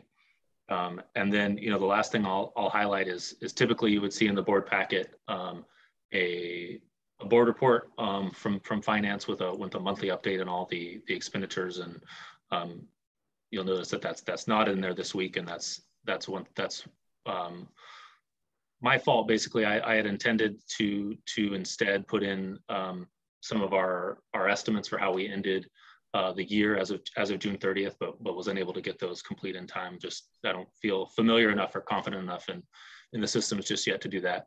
Um, but then I also thought that um, you know, just providing numbers for for July with one month of experience wouldn't wouldn't offer a lot as well. But I'm happy to send that that regular report out. Um, if that would be useful for for folks. But but once again, I think with just that that first month of data, I didn't see the the relevance of it, and I'll I'll I'll come back next month with with more information on on how we ended last year and how we're looking to to start this fiscal year as well. So um, I think that's that's all I have, unless there's any any questions. Marilyn. Yeah, Mark, you can send me that uh, monthly thing because I uh, like to watch the progression over the over the month, even though it's only one month. So if you send that one as available, I appreciate it. Sure thing. Thank you. Okay. Any other uh, comments or questions for Mark? Okay. Um, emergency services, Chief Santos or Chief Mueller? Uh, good evening, everyone. I just have one feel good story I want to share. Um, and that is that yesterday in Oregon City, Medic 316 and Truck 316 delivered twins. Um, they ran on a call, and uh, Ashley Hagee and Kristen Lynn were on Medic 316. Lieutenant John Wood, Sean Lahodney, Mike Hess, Dennis Kenny were on truck 316 and they uh, they responded on a woman who had kids at home, pregnant with twins, trying to get a hold of the mother-in-law, and uh, the mother-in-law was not answering the phone. So therefore, they had an imminent situation. So Chief Slater responded with them, and they delivered two healthy babies um, and transported them and delivered them pink, warm, and dry with Battalion Chief Burke Slater transporting, driving the buggy down to to the hospital with uh, with a pile of firefighters and the two medics, um, and uh, and to to only receive an an ovation from the emergency department and labor and delivery. They, they had them wrapped up, pink, warm, and dry. They'd done a, complete APGAR to make sure that they were healthy and they were alert. And they'd done a, a blood glucose and just left them nothing to do except for just uh, experience joy. So I just wanted to share that in light of everything that goes on every single day. And that's all I have to share today. Sounds like they didn't even need to go to the hospital. It was lovely. okay. Uh, Chief Muhlich. Hey, good evening, everybody. Uh, I just have uh, some information to help uh, with uh, Jim Syring's question about some of the response data. That email did come to us and for some reason didn't make the board packet. So um, I just, on the July mutual aid uh, responses, I could almost put a exact call on these. We responded into Estacada four times and they responded into Clackamas one time. Two of those, I believe, were water rescue calls where we have the, the county consortium that responds that that direction um, already. So if you compare that uh, with looking at the numbers with Sandy Fire, uh, we responded uh, 54 times into Sandy uh, with 17 in return. I know that Chief McKinnon and I had talked about just keep, how we keep that boundary identified between the two organizations so we can actually track those numbers. And it seems like that's working great. Uh, just looking at the trends, um, and the comparison for the year with Sandy, I believe it's 259 to 107. So it's similar to the to the same ratio um, as throughout the rest of the year. So I did forward that to Chief Stewart so he can uh, push that to uh, all the board members. Um, just a, there's a lot going on in operations. Um, and uh, just to kind of throw uh, just a couple uh, little bits at you, then I want to get into uh, Crew 30 and just a quick report from Chief Olson, which I know everybody has a lot of interest in. Um, I took most of July off and come to find out that uh, that was one of the busiest fire months we've had in the year. There were, in a 30 day period, there were 21 fires that the uh, fire marshal's office was investigating. Uh, some of those were, uh, were pretty significant incidents. Um, in one of those incidents, uh, Chief uh, Kyle Olson on July 27th was incident command of a fire in Oak Lodge, uh, where our crews at Station 3 with Engine 303, Medic 303 conducted a rescue um, of a uh, of a resident inside the front door in a, in building that was on fire inside an IDLH. Uh, you can reference his report in the in the board packet. Uh, it's a pretty good narrative that Chief Olson wrote on that. Um, we have crews right now that are out on uh, conflagration. Uh, that are on the uh, Middle Fork Complex fire that is on Highway 58 out of Oakridge, which is 60 minutes east of Eugene. Um, we just found out about half an hour ago that they're going to get uh, demobed from that fire and pushed down to the Patton Meadow fire uh, in Lakeview.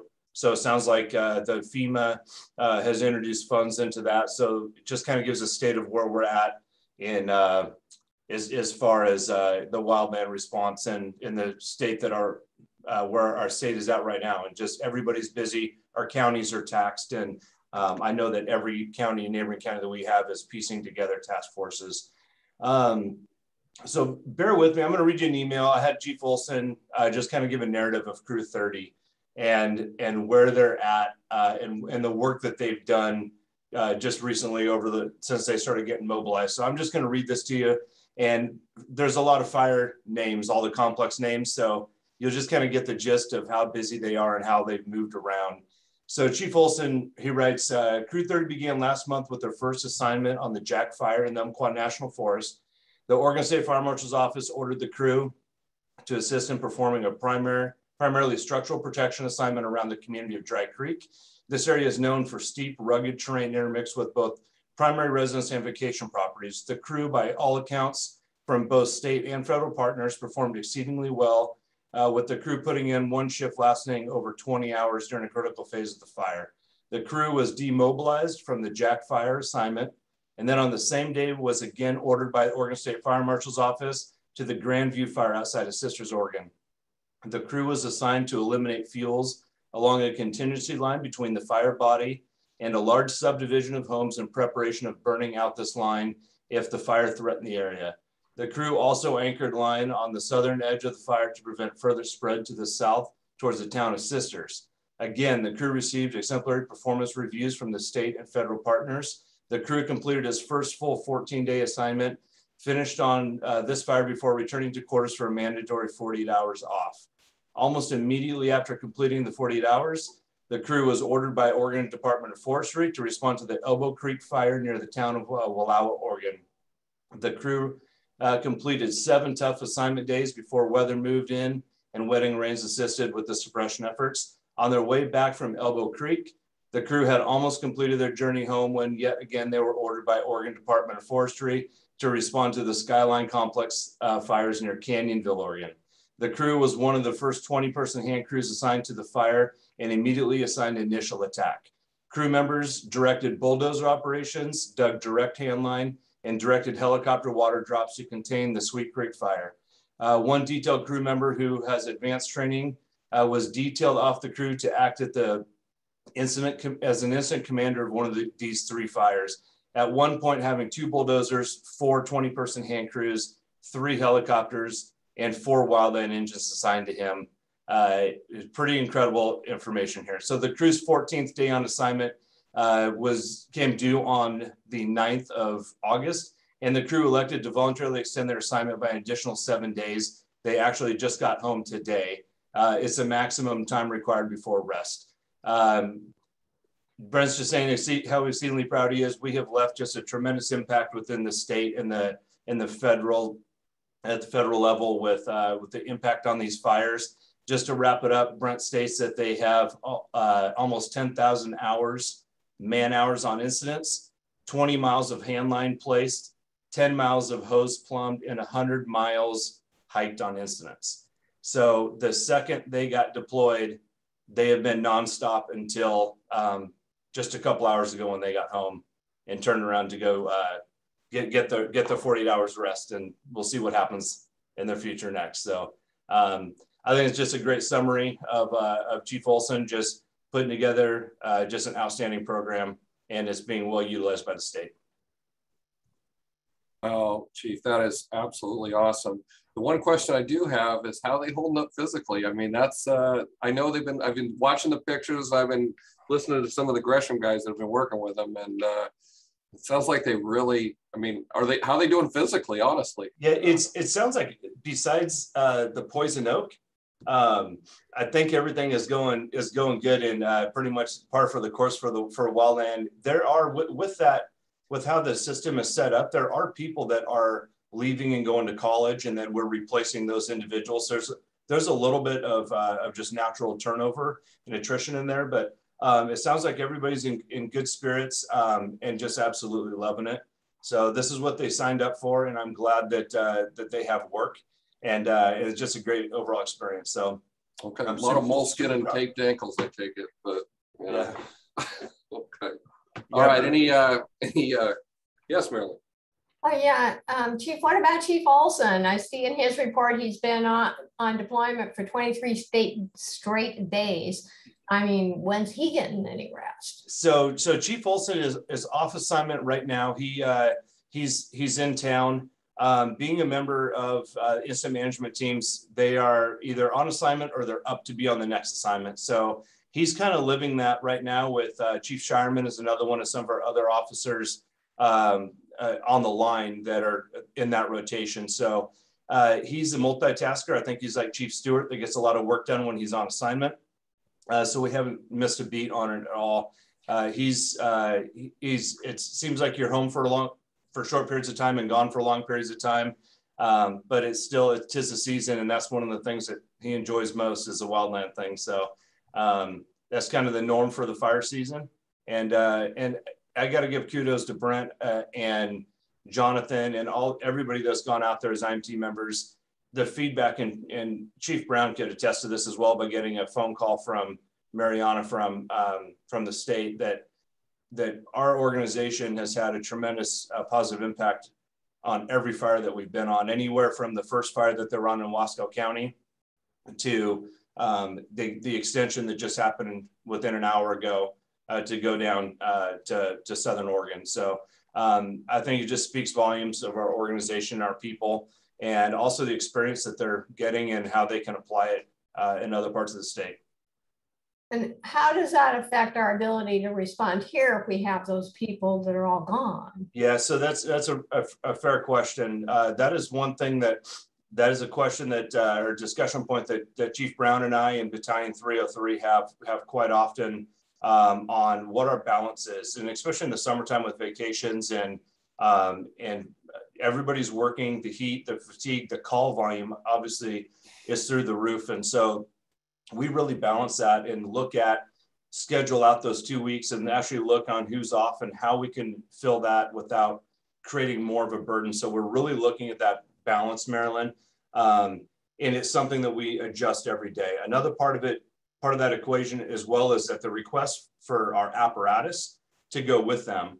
And so when you, when you look at that, we look at what apparatus do we have to backfill and without leaving vacancies or void spaces in our FMZs. And so, um, so we we look at the weather, all, all that before we make a decision. So it's constantly in flux, and uh, I feel right now that we kind of have a good system um, on how we evaluate that, and we'll continue to evaluate it. And I just had, you know, for example, I had another one of our individuals that got requested to go out to another fire. So it's the same process that just starts over and you just ask the same questions. And so that's kind of how we're moving through it. And uh, I feel like our coverage has been good in the organization.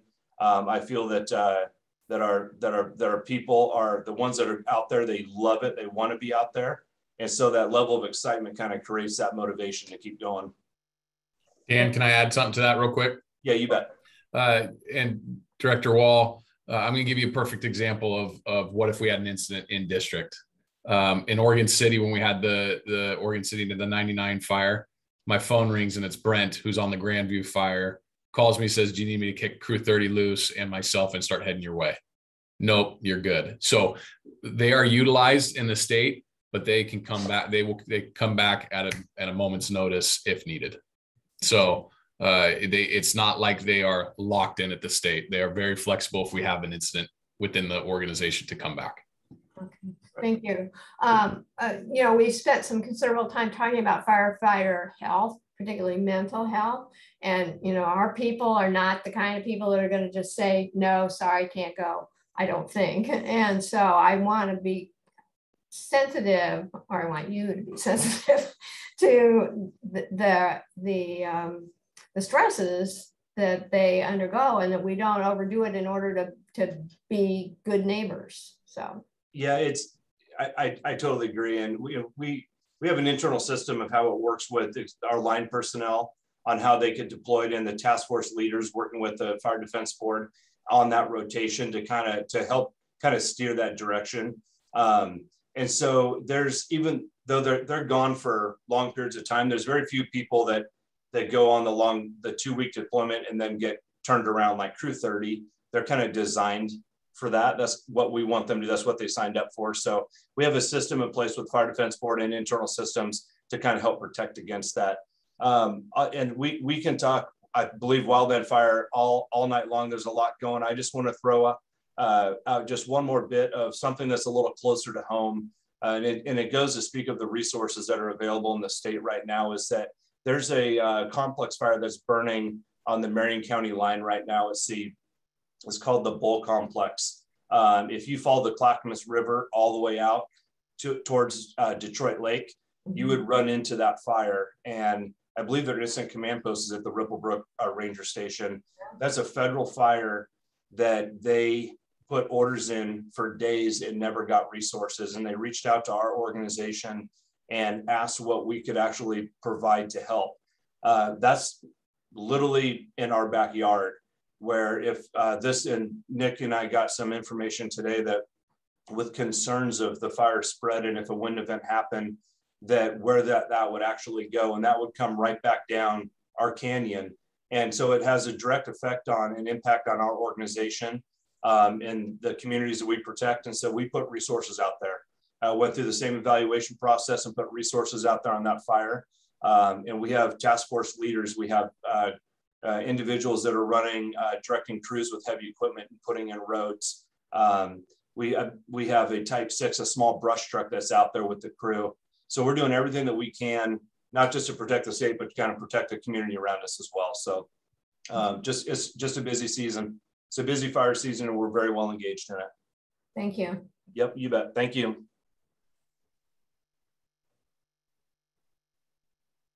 Any other questions for Chief Mulek or comments?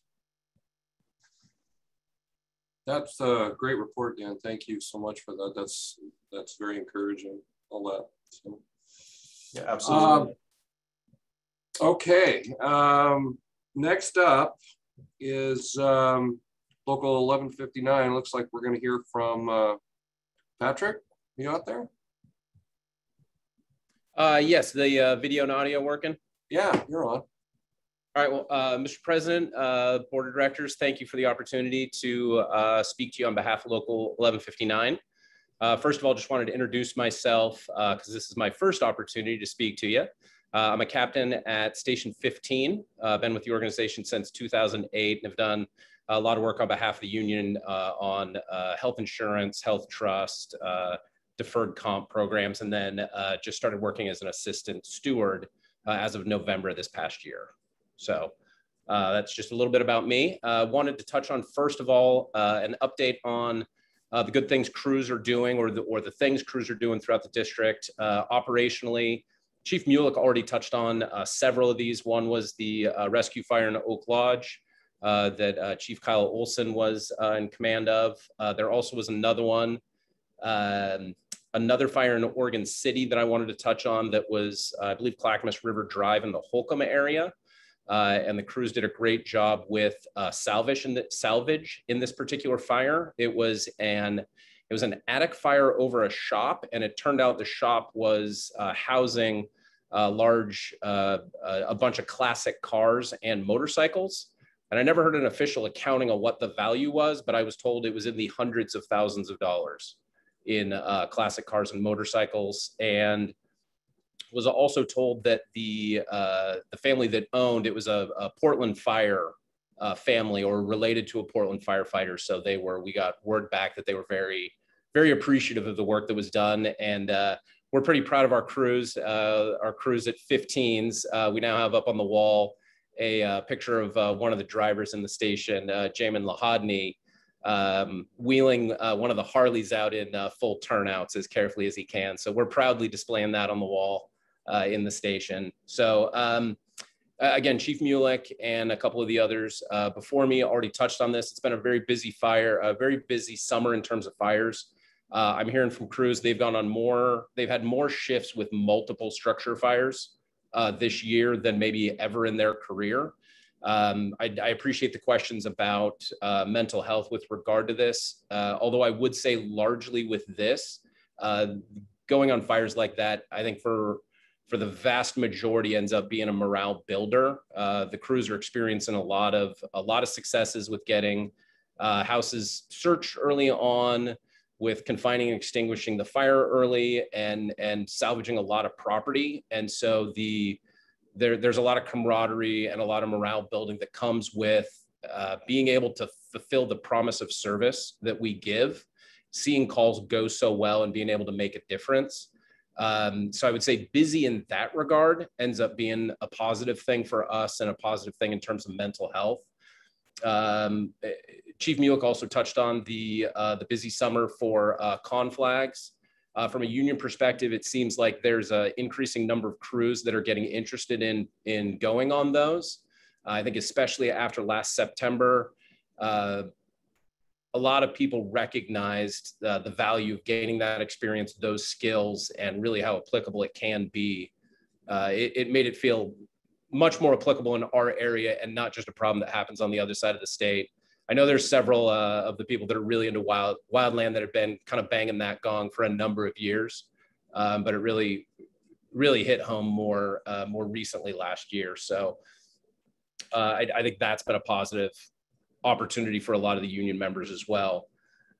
Uh, as as far as uh, so that's kind of the operational stuff that's going on. As far as non-operational stuff, there's a few things I wanted to touch on. Uh, one, uh, wanted to share the uh, the passing of retired uh, Lieutenant Carl Nisbet.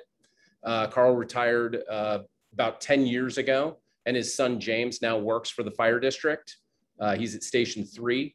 Um, many of the members uh, stepped up to support James and the Nisbet family, uh, and there's a couple we wanted to highlight in particular. Uh, one was uh, Alex Gillette, who's his uh, partner on Medic 3. He was there with uh, James when he got the notification and, and really became the main point of contact between James and everybody else for, for what we could do to support James and support the, the Nisbet family. Um, they helped him through the process. Uh, Alex also worked with uh, retired uh, Lieutenant Al Laurie on helping to make arrangements uh, for the uh, the service at Abundant Life Church, and uh, so, so, we wanted to, in particular, thank Alex Gillette and Al Laurie for their services in helping James and the and the Nisbet family through that. Uh, Clackamas Firefighters Flower Fund supported four members uh, this month for life events. The Flower Fund acts as a benevolent fund in times of uh, joy and in times of sorrow. Um, Local 1159 uh, firefighters support the fund with a $3 donation per month. Uh, it's managed by Nate Hahn and Andrew Gordian. Uh, and can be requested by members for a, a wide range of events, but that was utilized four times throughout the month. Local 1159 uh, we'll be awarding three scholarships to three children of Local 1159 members. Uh, these are graduating seniors. Two of them are from Clackamas and one from Lake Oswego. Uh, these scholarships are supported through the IFF Local 1159 Foundation, uh, which is a 501c3 foundation, uh, and supported through donations of, uh, of and, and, support from the members as well as fundraising events and sales from the Local 1159 store. Also, uh, this month, uh, Local 1159 Executive Board voted to approve uh, supporting Heather Goodrich and Alicia McVicker for hotel stays in New York for the IAFF uh, Redmond Symposium. Uh, this symposium focuses on peer support, the IAFF Wellness Initiative, uh, peer fitness training and EMS. it's basically the Super Bowl for wellness and peer support and uh, the local 1159 uh, recognizes the services of uh, the wellness division in general and, and Heather and Alicia uh, in particular, what they've done. And we wanted to support them being able to go uh, attend that, uh, but it turns out it was canceled due to COVID. so they won't actually be attending. So um, also wanted to congratulate a couple members on recent marriages, Matt Towner at Station 5 uh, who was married on July 17th to Allie uh, McEwen. And congratulations to Austin Amaya at Station One uh, and his wife, uh, Adriana Amaya Baldwin. Uh, they were married last year, but due to COVID, we're not able to celebrate with friends and family. So they were finally able to do that. Uh, also wanted to give an update on uh, mental health and physical health uh, of everyone right now with all that's going on, heat, middle of the summer. Um, that's one of the questions I was forwarded uh, that, uh, that it sounded like you as the board wanted to hear about uh, in particular. in terms of physical fitness, from everything I've seen and heard, crews seem to be held, holding up really well with the heat, the challenges of the summer, and the heavy call volume. Um, I, I, could speak just from personal experience from what I've, I, I, joined the organization in 2008 and I can tell you that the nutrition habits and the physical fitness habits and the general wellness habits, habits have significantly improved um, from what I saw when I joined in 2008. Uh, and, and I think that having better nutrition, better physical fitness uh, is in no small part due to the work of the wellness division and and I think that really pays heavy dividends in seasons like this, um, in, in, the in the heavy workload and in the summer heat. So physically, I think crews have held up really well, uh, uh, largely as a result of that. Uh, in terms of in terms of mental health, I would say there I, I, gave the one positive, which is that I actually think the kind of the, the heavier call volume of fires and some of the um, uh, some of the more acute calls we've gone, on, I think, can actually be a morale builder. In terms of challenges to mental health, uh, there's really two that stand out uh, from the union perspective right now. Uh, the first one is COVID fatigue, and I think that that's really the biggest one. Uh, we all know the situation's dynamic, um, but it, there's seemingly constant changes in the policies and directives coming out at the state level and from OSHA. And just that level of uh, change and instability uh, really causes a lot of, uh, I think, mental health challenges and a lot of stress. So that I would say is the is the biggest one. And and then the other policy, the, the other point with that would be, it it seems like a lot of the policies coming down don't necessarily fit the uh, firefighter work environment, fire service work environment all that well. It seems like we're a little bit of a square peg in a round hole with some of these policies. And so it becomes a real challenge in terms of stress and mental health when when you get down to the details of implementing these policies, it just clearly doesn't seem to make sense at a detail level on some of them. Um, but but clearly we are the decision makers within the organization are trying to do the best they can given the directives. Um, but but sometimes even with the best they can, it seems like it's a it, it's a challenge to make common sense policies with what's coming down. So that's a, that I would say is the biggest challenge to mental health. Um, the other one is uh, the contract. So uh, I know the bargaining teams for both labor and management have been working diligently to come up with an agreement, to come to an agreement. But um, for the crews on a day-to-day basis that aren't involved with the process, it is the instability of not having the contract in place uh, is a big uh, stressor as well. It is that is also I, I, would say that's the second big challenge in terms of in terms of mental health now. So uh, that's everything I have. Uh, does anybody have any questions for me?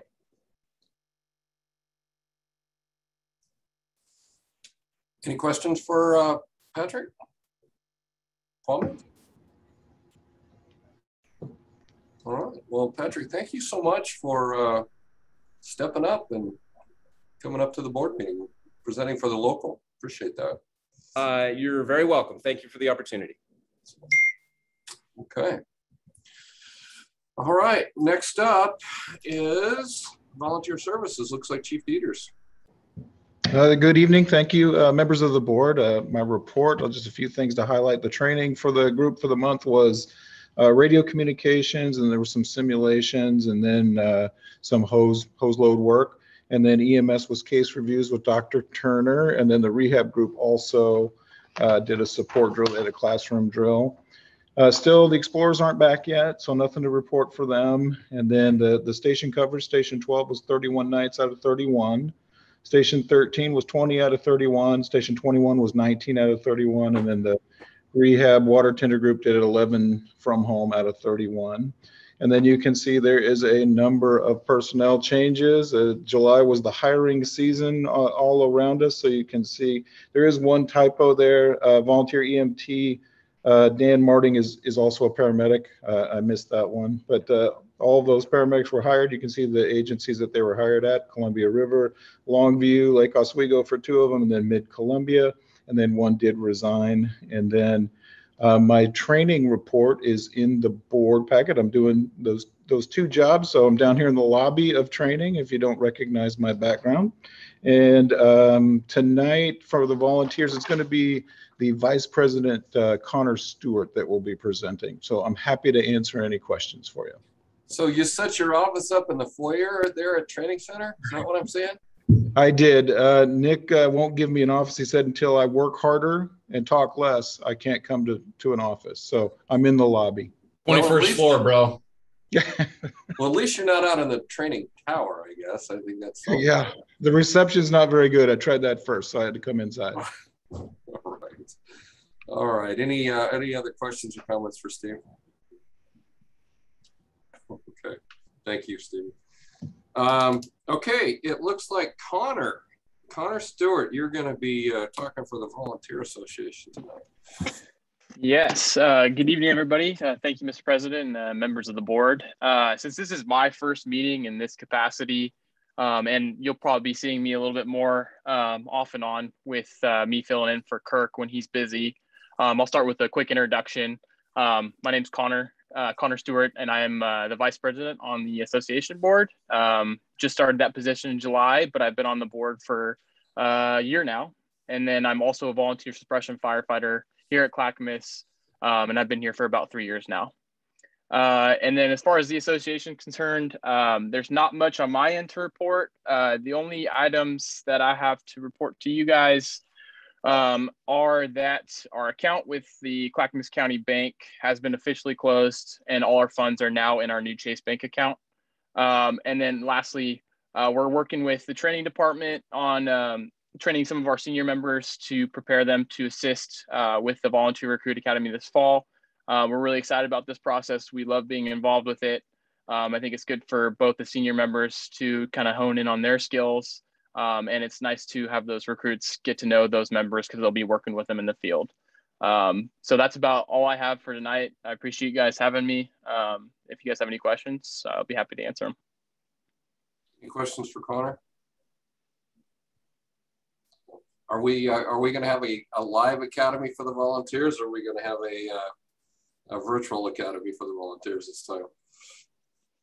I'll pass that question to, to Chief Dieters. I'm not really sure too much on that one yet. Yeah, uh, we're we're planning for in person.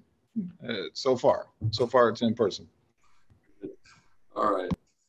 Um, yeah, that's a struggle with everything that. So, all right. Uh, thank you, thank you, Connor, and welcome. Um, any uh, anything else? Uh, correspondence is up. Anybody have any anything about the correspondence that was in our uh, our packet? A few a few uh, nice notes in there this time. Um, okay. So our next meeting, I believe, is the 20th of September um, at uh, six o'clock still uh, until we approve that. And uh, probably right here, same bat time, same bat place, right here on uh, teleconferencing. Um, the uh, so for the board members, um, and I believe for uh, maybe a couple of the chief officers, we're gonna have an we're gonna recess this uh, regular board meeting. We're gonna recess to a uh, uh, an executive meeting. Um, hopefully that won't take very long, and then we'll come back um, uh, to the uh, to this meeting to um, talk about whatever, and then then adjourn. So uh, without further ado, um, we will recess this meeting this regular board meeting at 8.46. And uh, Chief Browne, who's going to be at the executive session? You and Chief Stewart? Uh, yeah, just myself because it's just an update at this point. So yeah, I'm just I'm just going to give you a quick quick update, two three minutes. Okay. Unless there's questions. Okay, so has everybody got the link? I want to make sure before we leave here, everybody's got the link to the executive session. Chris is shaking his head. Um, Rachel, can we make sure that Chris has the link for the yes. executive session? Absolutely. I'll send that to you right now, Chris, or Director Hawes. Thank you. Mm -hmm. Everybody else has it? The board, the board. Oh, yeah, Michael, this is just for the, this is just for the directors. This is just for the directors and uh, Chief Browne. So, okay. We'll see you on the regular board at 9 p.m. Um, we had an executive session, a quick briefing um, from uh, the fire chief on the status of the labor negotiations. There were no decisions made. And we and so now, uh, unless the directors, any of the other directors or anybody else have any comments, we will be um, adjourning the regular board meeting at 9.02 p.m. All right, thank you, everybody. Night, everyone. guys. Night, Thank you. Bye-bye.